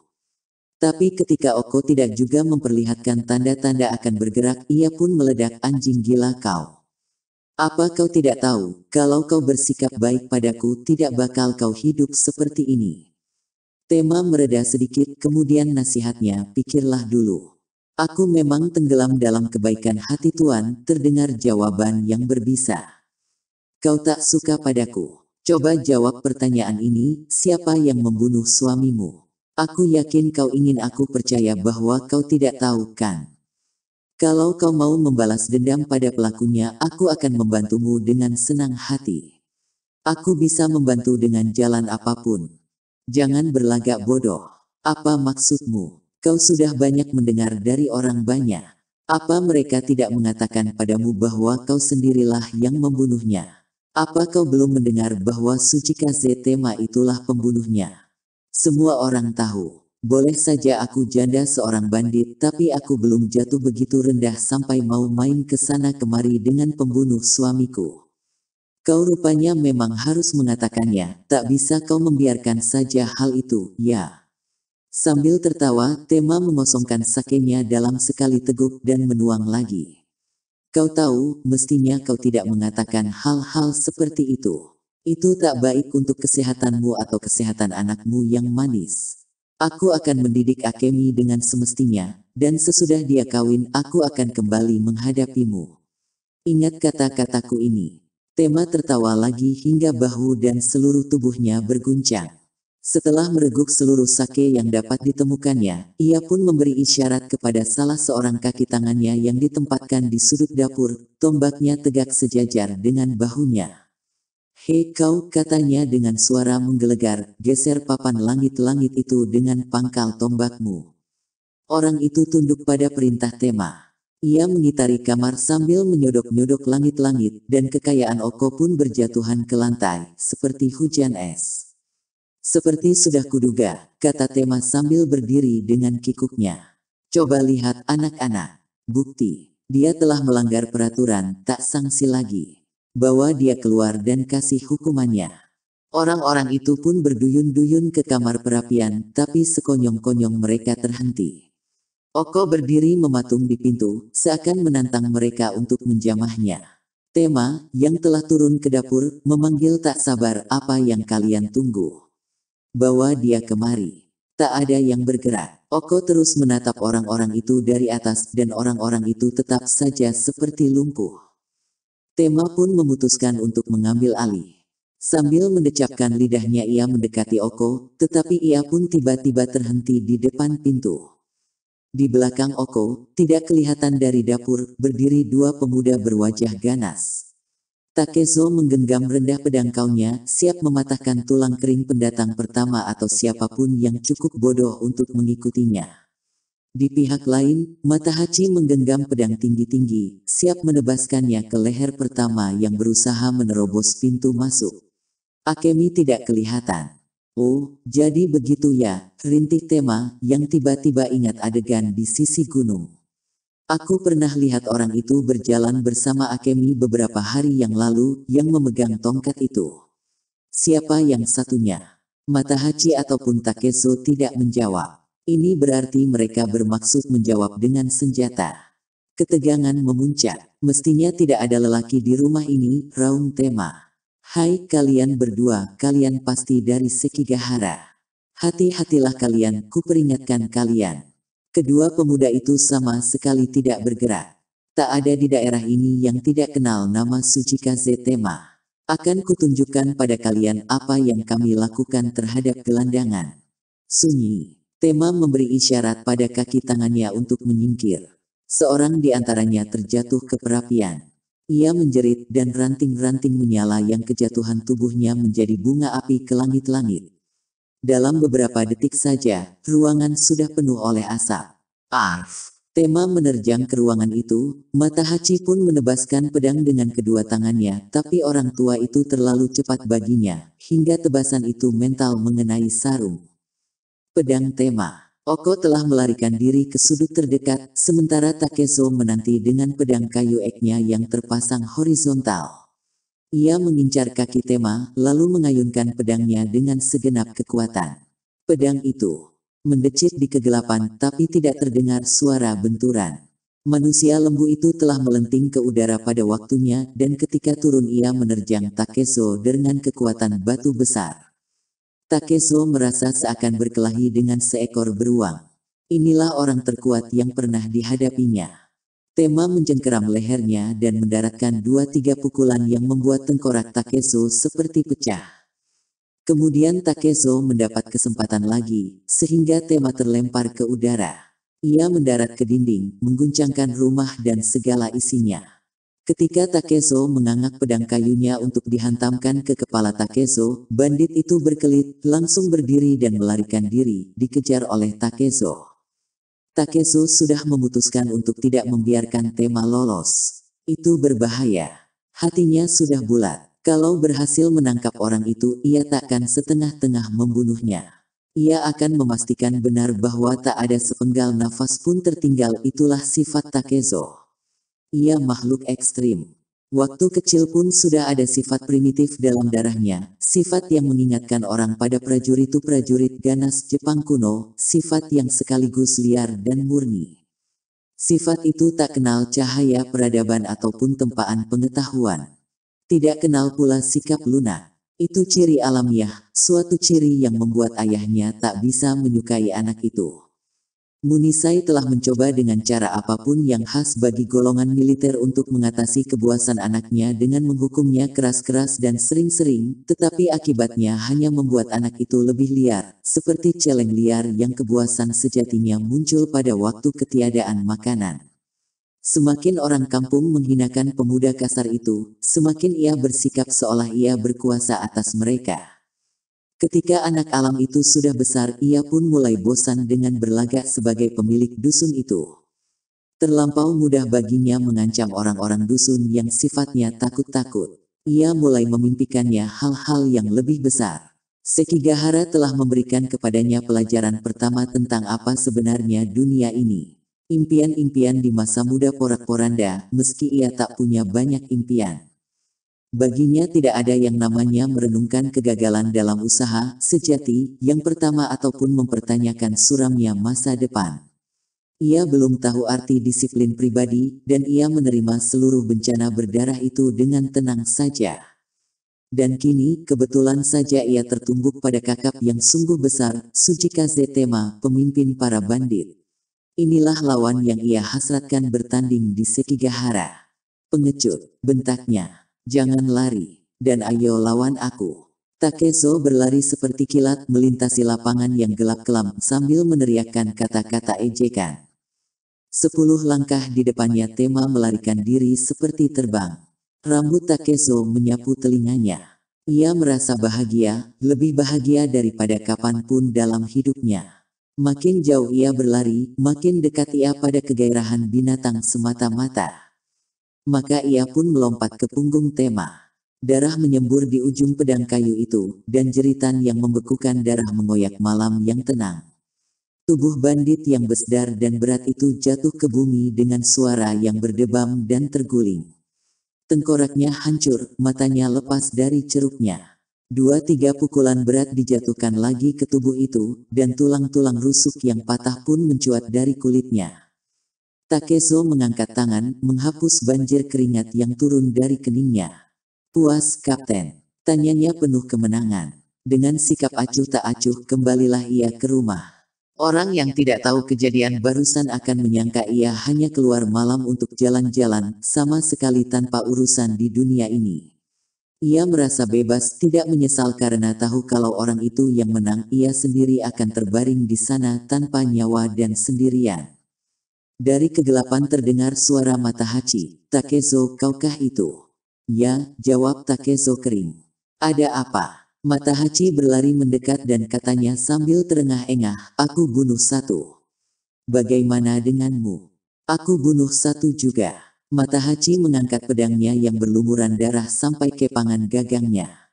Sambil melebarkan bahunya, dengan penuh kebanggaan ia berkata, yang lain-lain lari. Bajingan-bajingan pencuri ini pengecut. Tak punya nyali. Cuma bias melawan mayat, ha. Ini baru perkelahian, hahaha. Kedua pemuda itu penuh percikan darah kental dan mereka puas seperti sepasang anak kucing yang makan kenyang. Sambil berkeciap senang, mereka pun menuju lampu yang tampak dari jauh. Takezo dengan pedang berdarah, Matahachi dengan pedang yang juga berdarah. Seekor kuda gelandangan melongokkan kepalanya ke jendela dan melihat-lihat sekitar rumah. Dengusnya membangunkan kedua orang yang sedang tidur. Sambil memaki binatang itu, Takeso menamparkan telak hidungnya. Mata Hachi meregangkan badan, menguap berucap betapa enak tidurnya. Mata Hachi sudah cukup tinggi, kata Takezo. Apa kau kira sudah sore? Tidak mungkin. Sesudah tidur nyenyak peristiwa-peristiwa malam sebelumnya sudah terlupakan sama sekali. Untuk kedua orang ini, yang ada hanya hari ini dan besok. Takezo berlari ke belakang rumah dan melepas baju sampai pinggang. Sambil merundukkan badan di sisi sungai gunung yang bersih dan sejuk itu ia memercikan air ke wajahnya, membasahi rambutnya, dan membasuh dada dan punggungnya. Seraya menengadah ia menarik napas dalam-dalam beberapa kali, seakan-akan mencoba mereguk sinar matahari dan seluruh udara yang ada di langit. Masih mengantuk, Matahachi masuk ke kamar perapian. Ia mengucapkan selamat pagi kepada Oko dan Akemi dengan riang. Hei, kenapa pula kalian, wanita-wanita yang manis ini cemberut begitu? Apa betul begitu kelihatannya? Ya, betul sekali. Kelihatannya seperti kalian sedang berkabung. Apa yang mesti dirisaukan? Kami telah membunuh pembunuh suami ibu dan menghantam kaki tangannya, mereka tidak akan lekas lupa. Kekecewaan mata Hachi tidak sukar diterka. Semula ia pikir janda dan anak gadisnya itu akan senang sekali mendengar berita kematian tema. Memang malam sebelumnya Akemi bertepuk tangan gembira ketika pertama kali mendengar tentangnya.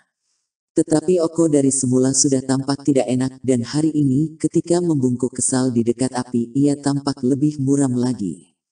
Ada apa dengan ibu? Tanya Mata Hachi, lah berpendapat Oko adalah wanita yang paling sukar disenangkan hatinya di dunia ini. Inilah balasannya. Katanya pada diri sendiri sambil mengambil teh pahit yang dituangkan Akemi untuknya dan berjongkok. Oko tersenyum lesu, iri kepada anak muda yang belum banyak mengecap asam garam kehidupan di dunia ini. Mata Hachi, katanya letih, kau rupanya belum mengerti. Tema punya beratus-ratus pengikut. Tentu saja, orang brengsek seperti dia selalu punya banyak pengikut. Kami tidak takut akan macam orang-orang yang ikut dengan orang seperti itu. Kalau kami dapat membunuh Dial kenapa kami mesti takut kepada anak buahnya? Kalau mereka mencoba menyerang kami, Takezo dan aku akan tak berbuat apa-apa. Sela Oko. Mata Hachi membusungkan dadanya dan katanya, siapa bilang begitu? Datangkan mereka sebanyak-banyaknya. Mereka tak lebih dari serombongan cacing. Atau ibu pikir Takezo dan aku ini pengecut. Mau merangkak mengundurkan diri. Ibu kira siapa kami ini? Kalian bukan pengecut tapi kalian kekanak-kanakan. Bahkan terhadap aku. Tema punya adik lelaki bernama Sujikaze Kohei, dan kalau dia datang mencari kalian, kalian berdua jadi satu pun tak akan punya kesempatan menang. Ini bukan macam pembicaraan yang suka didengar oleh Matahachi, tapi sementara Oko meneruskan pembicaraannya ia mulai berpikir barangkali Oko ada benarnya. Sujika Zekohei agaknya memiliki gerombolan besar pengikut di sekitar Yasugawa di Kiso. Dan bukan hanya itu, ia ahli berkelahi dan luar biasa mahir dalam menangkap orang yang lepas dari tangkapannya. Sebegitu jauh belum ada orang yang dapat hidup normal sesudah Kohei secara terbuka menyatakan akan membunuhnya. Jalan pikiran. Mata Hachi hanyalah kalau orang menyerang kita di tempat terbuka itu mudah. Tapi lain sekali halnya kalau orang itu menyerang selagi kita tidur nyenyak. Itulah kelemahanku, demikian diakuinya. Aku tidur seperti orang mati. Sementara duduk bertopang dagu dan berpikir Oko pun sampai pada kesimpulan bahwa tidak ada lagi yang dapat dilakukannya kecuali meninggalkan rumah itu beserta cara hidupnya dan pergi jauh dari situ. Ia pun bertanya pada Matahachi, apa yang hendak dilakukannya beserta Takezo. Aku akan membicarakannya dengan dia, jawab Mata Hachi. Ke mana pula dia pergi tadi? Ia pun berjalan keluar dan mencari ke sekitar situ, tapi Takezo tidak tampak di mana pun. Sejenak kemudian ia memayungi matanya dengan tangan, memandang ke kejauhan, dan melihat Takezo sedang menaiki kuda. Pesta Bunga Pada abad 17, Jalan Raya Mimasaka merupakan jalan utama. Jalan itu membentang dari Tatsuno di Provinsi Harima, berkelok-kelok melewati dataran yang dalam peribahasa dilukiskan sebagai berbukit-bukit. Seperti halnya pancang-pancang yang menandai perbatasan Mimasaka Harima, jalan itu menelusuri rangkaian pegunungan yang seakan tanpa akhir. Para musafir yang muncul dari celah Nakayama biasa memandang ke lembah sungai Aida, dan di situ sering kali mereka terkejut melihat sebuah kampung yang cukup besar. Sebetulnya Miyamoto lebih tepat dinamakan perserakan dusun daripada sebuah kampung yang sesungguhnya. Sekelompok rumah berderet di sepanjang sisi-sisi sungai, yang lain berkerumun jauh di atas perbukitan, dan yang lain lagi mengambil tempat di tengah dataran terbuka berbatu-batu, sehingga sukar dibaca. Jika dilihat secara keseluruhan, jumlah rumah-rumah itu cukup memadai untuk suatu pemukiman pedesaan pada waktu itu. Sampai kira-kira setahun sebelum itu, yang di Pertuan Simen dari Iga memiliki sebuah puri, tak sampai satu mil jauhnya dari sungai sebuah puri kecil sebagaimana puri-puri lain, tapi puri yang memikat para tukang dan pedagang untuk selalu datang. Lebih jauh ke utara terdapat tambang perak Sikozaka yang kini sudah lewat zaman keemasannya, tapi dahulu pernah memiliki daya tarik bagi para penambang dan mana-mana. Para musafir yang bepergian dari Totori ke Himeji atau dari Tajima ke Bizen lewat pegunungan itu biasanya menggunakan jalan raya tersebut dan biasanya mereka juga singgah di Miyamoto. Miyamoto memiliki rona eksotik sebuah kampung yang sering dikunjungi oleh penduduk yang datang dari beberapa provinsi dan dapat membanggakan tidak hanya losmennya, melainkan juga toko pakaiannya. Rombongan perempuan malam juga berlabuh di sana. Leher mereka dipupur putih seperti mode waktu itu. Mereka biasa mondar-mandir di depan rumah usahanya, seperti kelelawar putih di bawah tepi atap. Itulah kota yang ditinggalkan oleh Takezo dan Matahachi untuk pergi berperang. Sambil memandang puncak-puncak atap Miyamoto Otsu duduk melamun. Ia gadis lembut, berkulit terang dan berambut hitam mengilat, sosok tubuh dan anggota badannya indah dan kelihatan rapuh. Sosoknya itu menyiratkan kesan kudus, hampir-hampir seperti peri. Tidak seperti gadis-gadis petani yang tegap dan merah sehat, yang bekerja di sawah di bawah sana, gerak-gerik otsu halus. Jalannya anggun, lehernya jenjang dan kepalanya tegak. Kini, selagi duduk di ujung emperan kuil Sipoji, ia tampak bagai patung porselen. Sebagai bayi temuan di kuil gunung ini, ia punya sifat menyendiri yang jarang ditemukan pada gadis umur 16 tahun. Keengganannya bergaul dengan gadis-gadis lain seumurnya dan dari dunia kerja, membuat matanya memancarkan pandangan kontemplatif dan sungguh-sungguh tajam, yang cenderung menolak lelaki yang terbiasa dengan perempuan sembarangan. Mata Hachi, tunangannya, hanya satu tahun lebih tua darinya, dan sejak ia meninggalkan Miyamoto bersama Takezo pada musim panas sebelumnya Otsu tidak mendengar kabar apa-apa tentangnya. Bahkan sampai bulan pertama dan kedua tahun baru ini Lam merindukan berita tentang Matahachi, namun kini bulan keempat sudah dekat dan ia tidak lagi berani berharap. Dengan malas pandangannya mengawang kawan-awan dan pelan-pelan muncullah pikiran di kepalanya. Sebentar lagi sudah satu tahun penuh. Saudara perempuan Takezo pun tidak mendengar berita tentang Takezo. Bodoh aku, kalau aku menyangka di antara mereka ada yang masih hidup. Sekali-kali ia mengucapkan kata-kata itu pada seseorang, dengan harapan atau dengan suara dan mata mengimbau agar orang lain itu membantahnya dan memintanya untuk tidak berputus asa. Tapi tak seorang pun memperhatikan keluhannya. Bagi orang kampung yang bersahaja, yang sudah terbiasa dengan pasukan Tokugawa yang menduduki kuil simen sederhana itu, tidak ada alasan lagi untuk menyimpulkan bahwa mereka masih hidup. Tak seorang pun anggota keluarga yang di pertuan Simen pulang dari Sekigahara, dan itu wajar sekali. Mereka keluarga samurai, mereka telah kalah. Tak akan mereka berkehendak memperlihatkan wajahnya kepada orang-orang yang mengenalnya. Tapi bagaimana dengan prajurit biasa? Apakah tidak wajar kalau mereka pulang? Bukankah mereka sudah akan pulang lama berselang, kalau mereka memang masih hidup?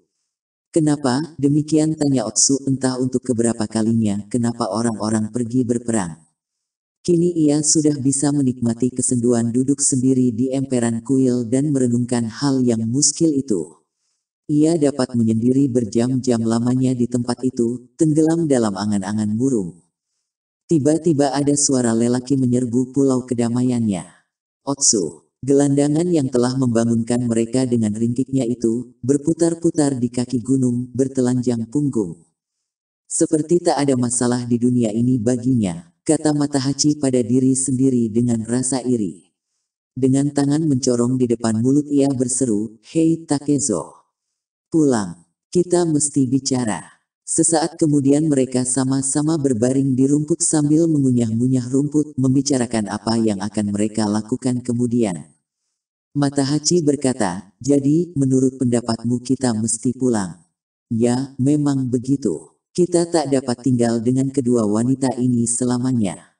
Ya, memang tidak. Aku tak suka perempuan. Setidak-tidaknya itulah keyakinan Takezo. Baik, kalau begitu ayo kita pergi. Mata Hachi berguling dan memandang ke langit. Sekarang, sesudah bulat pikiran kita ingin rasanya aku. Cepat-cepat pulang. Tiba-tiba aku menyadari sangat kehilangan Otsu. Sungguh aku ingin melihatnya segera. Lihat di atas itu. Ada awan yang bentuknya seperti raut muka Otsu. Lihat, bagian itu seperti rambutnya sesudah dikeramas. Mata Haji menjejak-jejak tanah sambil menunjuk langit. Mata Takezo mengikuti bayangan kuda menjauh yang baru saja dilepaskannya. Seperti kebanyakan pengembara yang diam di padang-padang, kuda gelandangan dianggapnya makhluk yang baik wataknya. Apabila kita tidak membutuhkannya lagi, ia pun tidak meminta apa-apa dari kita, begitu saja ia pergi sendiri ke tempat lain. Dari rumah Akemi memanggil mereka makan malam. Mereka pun berdiri. Ayo balapan, teriak Takezo. Ayo. Mata Hachi menimpali. Akemi bertepuk tangan gembira ketika kedua pemuda itu sama-sama berlari melintasi rumput yang tinggi, meninggalkan awan debu di belakang mereka. Sesudah makan malam Akemi termenung, lah baru saja mendengar bahwa kedua orang itu telah memutuskan untuk kembali ke rumah mereka. Sungguh menyenangkan bahwa mereka tinggal di rumah itu, dan ia ingin hal itu berlangsung selamanya. Tolol kau, umpat ibunya. Kenapa pula kau sedih? Oko sedang mengatur riasannya, sama rumitnya seperti biasa. Sementara memaki anak gadisnya, ia pun menatap Takezo di dalam cermin. Takezo menangkap pandangannya, dan tiba-tiba teringatlah ia akan bau harum tajam wanita itu ketika menyerbu ke dalam kamarnya. Mata Hachi menurunkan guci sake besar dari sebuah rak, lalu mengempaskan diri di samping Takezo dan mulai mengisi sebuah botol pemanas kecil, seolah-olah ia adalah tuan rumah. Karena malam itu malam terakhir, mereka merencanakan untuk minum sepuas-puasnya. Oko pun agaknya mencurahkan perhatian khusus kepada wajahnya. Jangan sampai ada setetes pun yang tak terminum. Katanya. Tak ada gunanya menyisakan sesuatu untuk tikus-tikus di sini. Atau cacing-cacing. Sambut mata Hachi. Dalam waktu singkat mereka telah mengosongkan tiga guci besar. Oko menyandarkan badan pada mata Hachi dan mulai membelainya sedemikian rupa, hingga Takezo memalingkan kepala karena malu. Aku, aku tak bisa berjalan, gumam Oko mabuk. Mata Hachi mengawalnya ke kasurnya, sementara kepala Oko tersandar berat ke bahunya. Sampai di sana, Oko menoleh pada Takezo dan katanya dengki, kau Takezo tidurlah sendirian. Kau suka tidur sendiri. Betul kan? Tanpa gumaman apa pun Takezo merebahkan diri asal saja. Ia sudah sangat mabuk dan hari sudah larut malam. Ketika ia terbangun, hari telah tinggi. Begitu membuka mata ia pun merasakannya. Terasa olehnya rumah itu kosong. Barang-barang yang hari sebelumnya ditumpukan Oko dan Akemi untuk perjalanan telah hilang. Tidak ada pakaian, tak ada sandal dan mata Hachi pun tak kelihatan. La memanggil tapi tak ada jawaban, dan ia pun tidak mengharapkannya lagi. Rumah yang kosong memancarkan suasananya sendiri. Tak ada orang di halaman, tak ada orang di belakang rumah, tak seorang pun di lumbung. Satu-satunya jejak teman-temannya hanyalah sisir merah terang yang tergeletak di samping mulut pipa air yang terbuka. Mata Hachi babi, katanya pada diri sendiri. Mencium bau sisir, kembali ia teringat bagaimana Oko mencoba menggodanya malam hari belum lama ini. Inilah yang mengalahkan mata Hachi, pikirnya. Memikirkan hal itu saja darahnya menggelegak.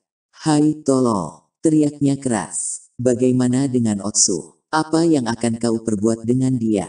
Apa tidak sudah terlalu sering dia kau tinggalkan, babi? Diinjaknya sisir merah itu, La ingin berteriak berang, bukan untuk diri sendiri, melainkan karena rasa kasihan pada Otsu yang dapat dibayangkannya dengan jelas sedang menanti di kampung sana.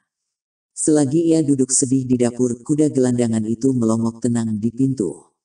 Karena Takezo tidak menepuk hidungnya, ia pun pergi ke meja cuci dan dengan malasnya menjilati butir-butir padi yang menempel di sana.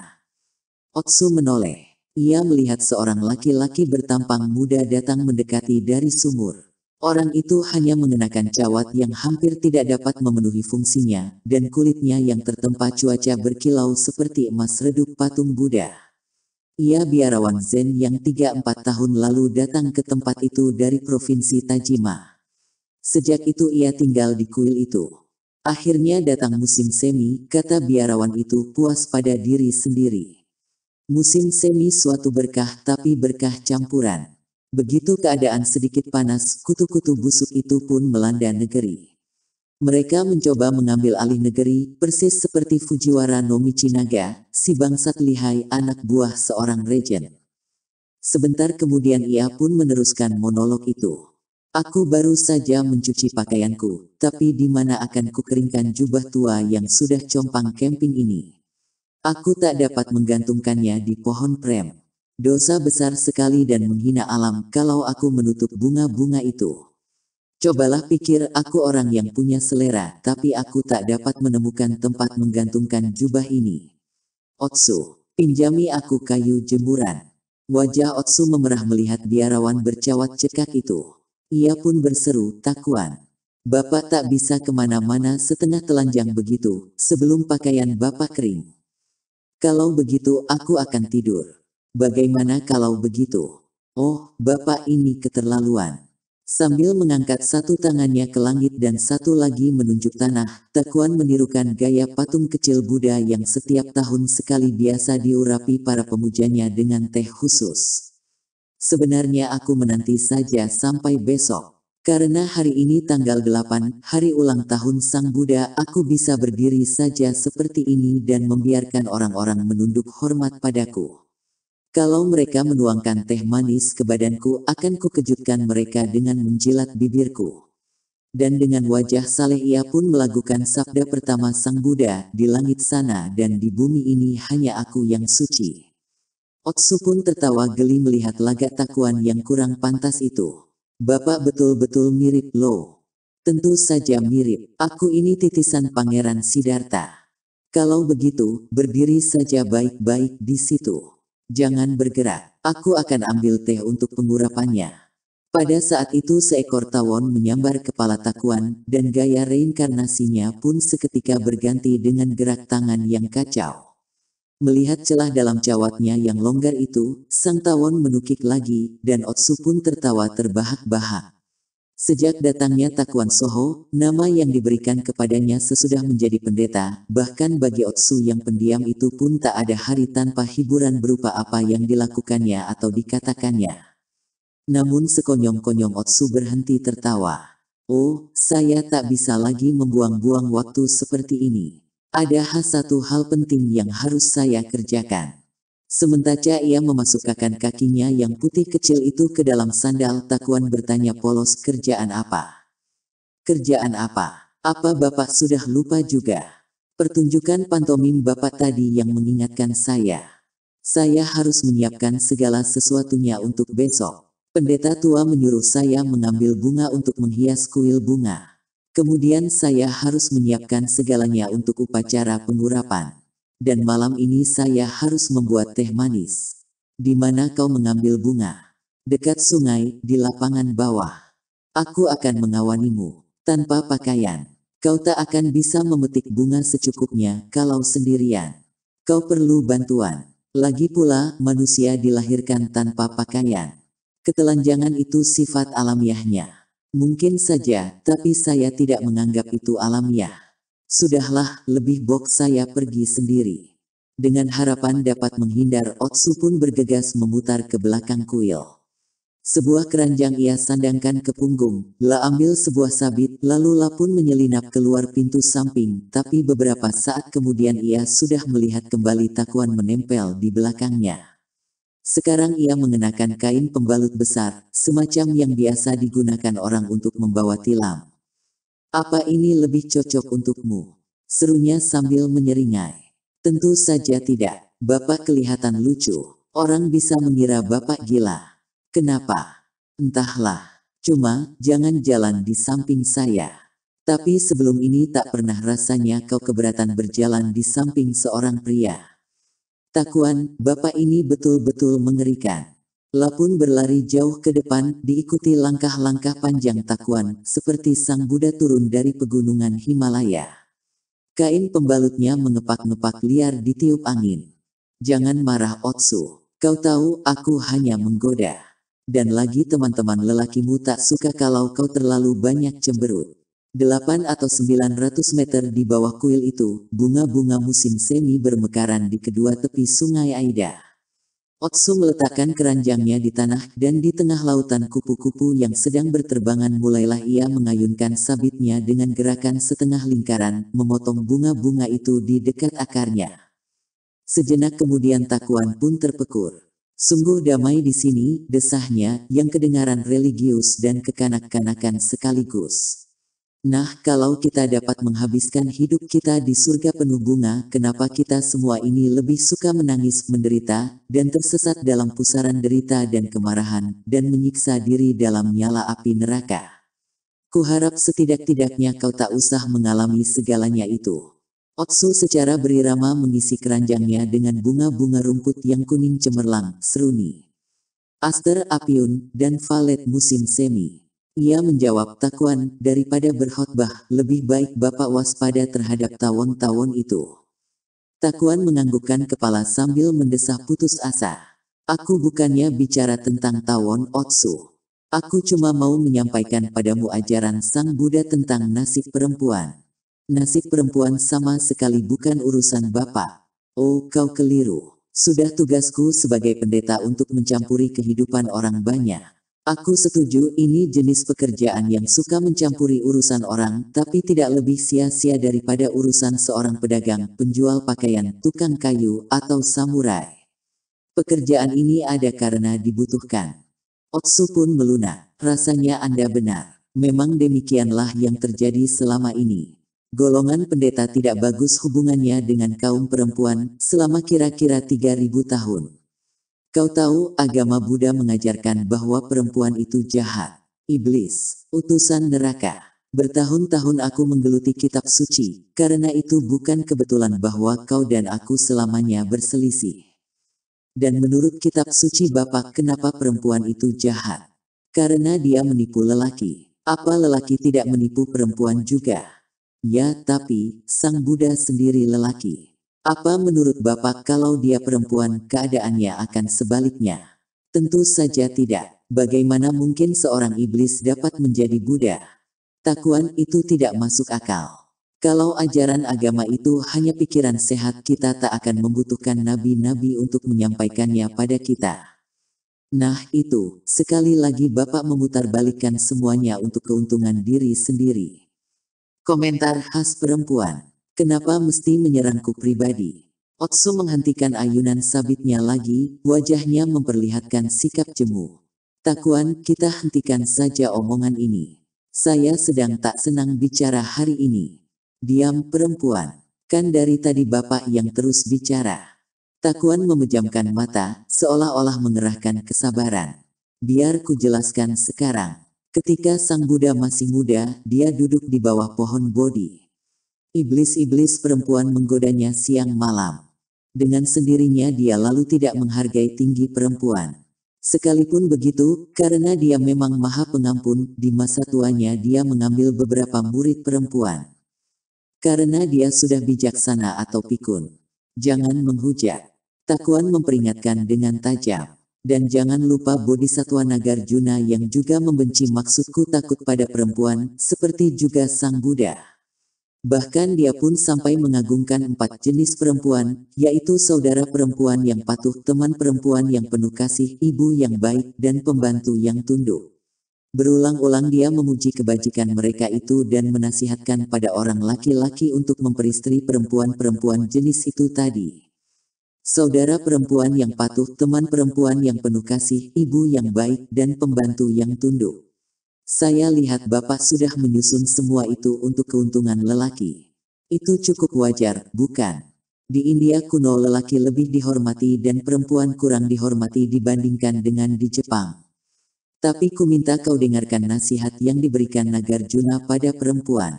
Nasihat apa? Dia mengatakan, hai perempuan, jangan kamu mengawini laki-laki. Itu lucu, masih ada kelanjutannya. Dia mengatakan, hai perempuan, kawinlah dengan kebenaran.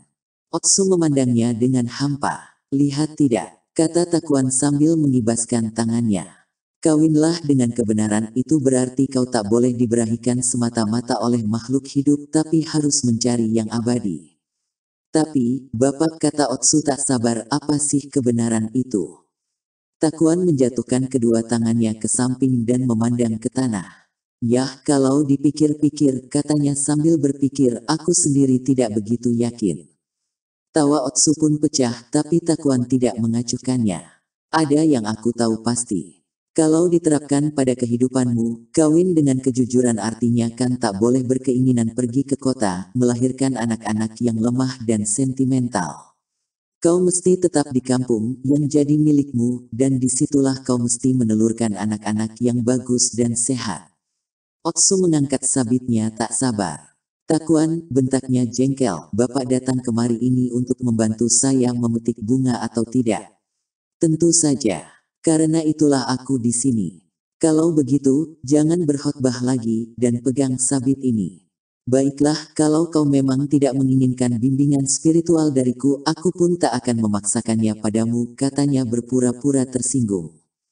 Sementara Bapak bekerja, saya akan lari ke rumah Ogin untuk melihat apa dia sudah menyelesaikan obi yang akan saya pakai besok. Ogin, kakak perempuan Takezo itu, aku sudah pernah melihatnya, kan? Bukankah dia pernah datang ke kuil denganmu? Dan Takuan pun menjatuhkan sabitnya. Aku ikut. Dengan pakaian begitu, Takuan berpura-pura tidak mendengar. Dia barangkali akan menyuguhi kita teh. Aku sudah haus setengah mati. Karena sudah capek sekali berdebat dengan biarawan itu, Otsu pun mengangguk lemah dan bersama-sama mereka berjalan menyusuri sungai. Ogin, seorang gadis berumur 25, tidak lagi dianggap orang sedang mekar-mekarnya, tapi sama sekali tidak jelek tampangnya. Walaupun para calon cenderung mundur karena reputasi adik lelakinya, tapi tak kurang orang yang melamarnya. Pembawaan dan pendidikannya yang baik segera tampak oleh semua orang, lah menolak semua pinangan, semata-mata karena ia ingin mengurus adik lelakinya lebih lama lagi. Rumah yang ditinggalinya dibangun oleh ayah mereka, Munisai, ketika masih memegang tanggung jawab latihan militer keluarga Simen. Sebagai hadiah atas kerjanya yang sangat baik, ia dianugerahi hak utama menggunakan nama Simen. Rumah itu menghadap ke sungai, dikitari oleh tembok kotor yang tinggi, didirikan di atas fondasi batu, dan jauh lebih besar dari yang diperlukan oleh seorang samurai biasa di pedesaan. Dahulu rumah itu megah tapi kini telah reyot. Bunga-bunga iris liar berkecambah dari atapnya, dan dinding dojo, di mana Munisai dahulu biasa mengajarkan seni perang, kini terlapisi seluruhnya oleh kotoran burung layang-layang putih. Ketika Munisai tak disukai lagi, ia kehilangan status dan mati sebagai orang miskin. Suatu kejadian yang bukan tidak umum di zaman yang penuh kekalutan. Segera sesudah kematiannya, para pembantunya pun pergi tapi karena mereka semua orang asli Miyamoto, banyak yang masih sering singgah. Apabila singgah, mereka meninggalkan sayur-sayuran segar, membersihkan kamar-kamar yang tidak dipakai, mengisi guci-guci air, menyapu jalanan, dan dengan cara-cara lain yang tak terhitung jumlahnya mereka berusaha memelihara rumah tua itu. Mereka juga senang mengobrol dengan anak perempuan Munisai. Ketika Ogin yang sedang menjahit di kamar dalam mendengar pintu belakang terbuka ia menyangka yang datang adalah salah seorang dari bekas-bekas pembantu itu. Karena sedang tenggelam dalam pekerjaannya, ia pun terlompat ketika mendengar Otsu menyalaminya. Oh, katanya, kamu rupanya, bikin kaget aku saja. Aku baru menyelesaikan obimu. Mau kau pakai besok kan? Betul. Ogin, aku mau mengucapkan terima kasih karena kau sudah mau bersusah payah. Sebetulnya aku bisa menjahitnya sendiri, tapi di kuil begitu banyak pekerjaan, sampai tak ada waktu lagi. Oh, aku senang bisa membantu. Aku punya lebih banyak waktu dari yang kubutuhkan. Kalau tak ada kesibukan, aku mulai melamun. Otsu mengangkat kepala, dan terlihat olehnya altar keluarga. Di atasnya menyala lilin, di atas piring kecil. Dalam cahaya suram itulah melihat dua tulisan gelap yang dilukis sangat saksama dengan kuas. Keduanya dilekatkan di papan dengan sesajian air dan bunga di depannya. Roh Simen Takezo yang telah pergi umur 17. Roh Honiden Matahachi yang telah pergi umur sama. Ogin, kata Otsu resah. Apa kau sudah mendapat kabar bahwa mereka terbunuh? Ah, belum. Tapi apalagi yang lain dari itu? Aku sudah pasrah. Aku yakin mereka tewas di Sekigahara. Otsu menggelengkan kepala keras-keras. Jangan katakan itu. Bikin sial. Mereka belum mati, belum. Kurasa mereka akan muncul hari-hari ini. Ogin memandang jahitannya. Apa kau mimpi tentang mata hachi? Tanyanya lembut. Ya, selalu. Kenapa? Itu artinya dia sudah mati. Aku sendiri tidak mimpi yang lain kecuali adikku. Ogin, jangan bilang begitu. Otsu pun berlari ke altar dan mencabut tulisan itu dari papanya. Kusingkirkan barang-barang ini. Cuma mengundang yang jelek-jelek. Air mata melelehi wajahnya ketika La mengembus lilin itu. Tak puas dengan itu, dicengkeramnya bunga dan mangkuk air, lalu ia berlari melintasi kamar sebelah menuju beranda. Di sana dilontarkannya bunga itu sejauh-jauhnya dan dituangkannya air di pinggir sana. Air tumpah tepat di kepala Takuan yang sedang jongkok di bawah. Ai, dingin. Lengking Takuan sambil melompat dan dengan kalutnya ia mencoba mengeringkan rambut dengan salah satu ujung kain pembalutnya. Apa pula yang kau lakukan ini? Aku datang kemari mencari secangkir teh, bukan mandi. Otsu pun tertawa sampai keluar air mata. Maaf, Takuan. Betul-betul minta maaf. Saya tak lihat. Sebagai tanda minta maaf ia pun membawakan takuan teh yang sudah dinantikannya. Ketika ia kembali ke dalam Ogin yang memandang tajam ke beranda itu bertanya, siapa itu? Biarawan musafir yang tinggal di kuil. Yang kotor itu. Kau pernah melihatnya, denganku ingat tidak. Waktu dia sedang berjemur telungkup sambil memegang kepala, memandang ke tanah. Ketika kita bertanya kepadanya apa yang dilakukannya, dia mengatakan kutu-kutunya sedang mengadakan pertandingan gulat. Dia bilang dia telah melatih kutu-kutu itu untuk menghiburnya. Oh, dia. Ya, dia. Namanya Takuan Soho. Aneh ya. Ya, begitulah paling tidak. Apa yang dipakainya itu? Kelihatannya bukan jubah pendeta. Memang bukan. Itu kain pembalut. Kain pembalut. Eksentrik. Berapa umurnya? Katanya 31 tahun, tapi kadang-kadang aku merasa seperti kakaknya, dia begitu tolol. Salah seorang pendeta mengatakan, biarpun kelihatannya begitu, dia biarawan hebat. Mungkin saja, kita tak dapat selalu menilai orang dari tampangnya. Dari mana dia itu? Dia lahir di Provinsi Tajima, dan mulai mempersiapkan diri menjadi pendeta ketika umur 10 tahun. Kemudian dia masuk kuil Sekte Zen Rinzai kira-kira 4 tahun kemudian. Pergi dari sana dia menjadi pengikut pendeta sarjana dari Daitokuji dan melakukan perjalanan bersamanya ke Kyoto dan Nara. Belakangan dia belajar dengan pimpinan Gudo dari Myoshinji, Ito dari Senan, dan satu deretan panjang orang suci lain yang terkenal. Dia menghabiskan banyak sekali waktu untuk belajar. Barangkali itu sebabnya dia agak lain.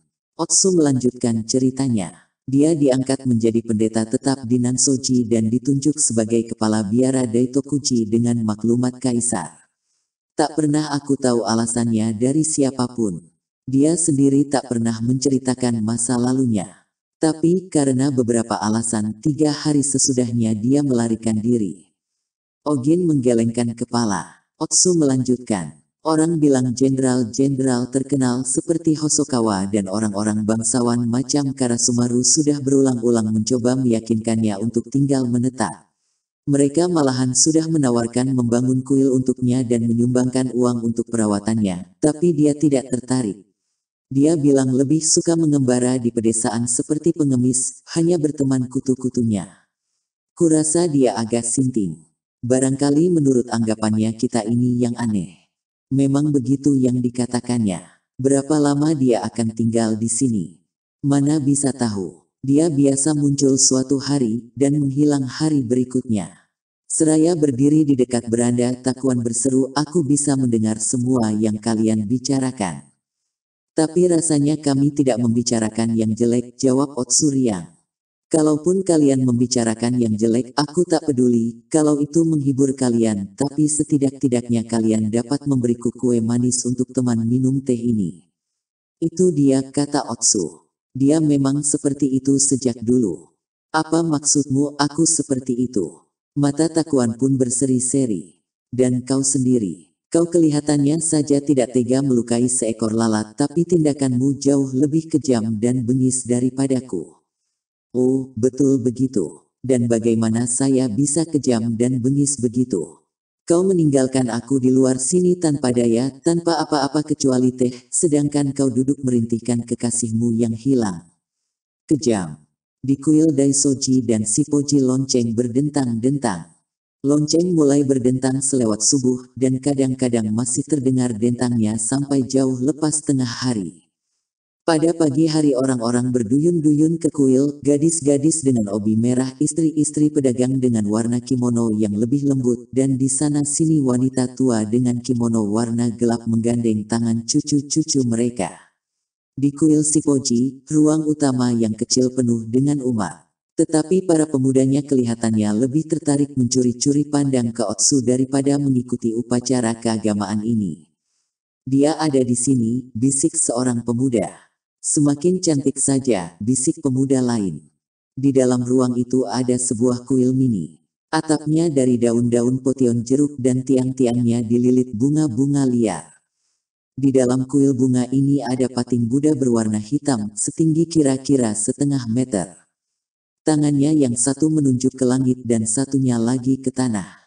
Pating ini berdiri di dalam semacam baskom dari tanah liar. Orang-orang melewati patung itu sambil mengguyurkan teh manis ke kepalanya dengan menggunakan sendok besar dari bambu.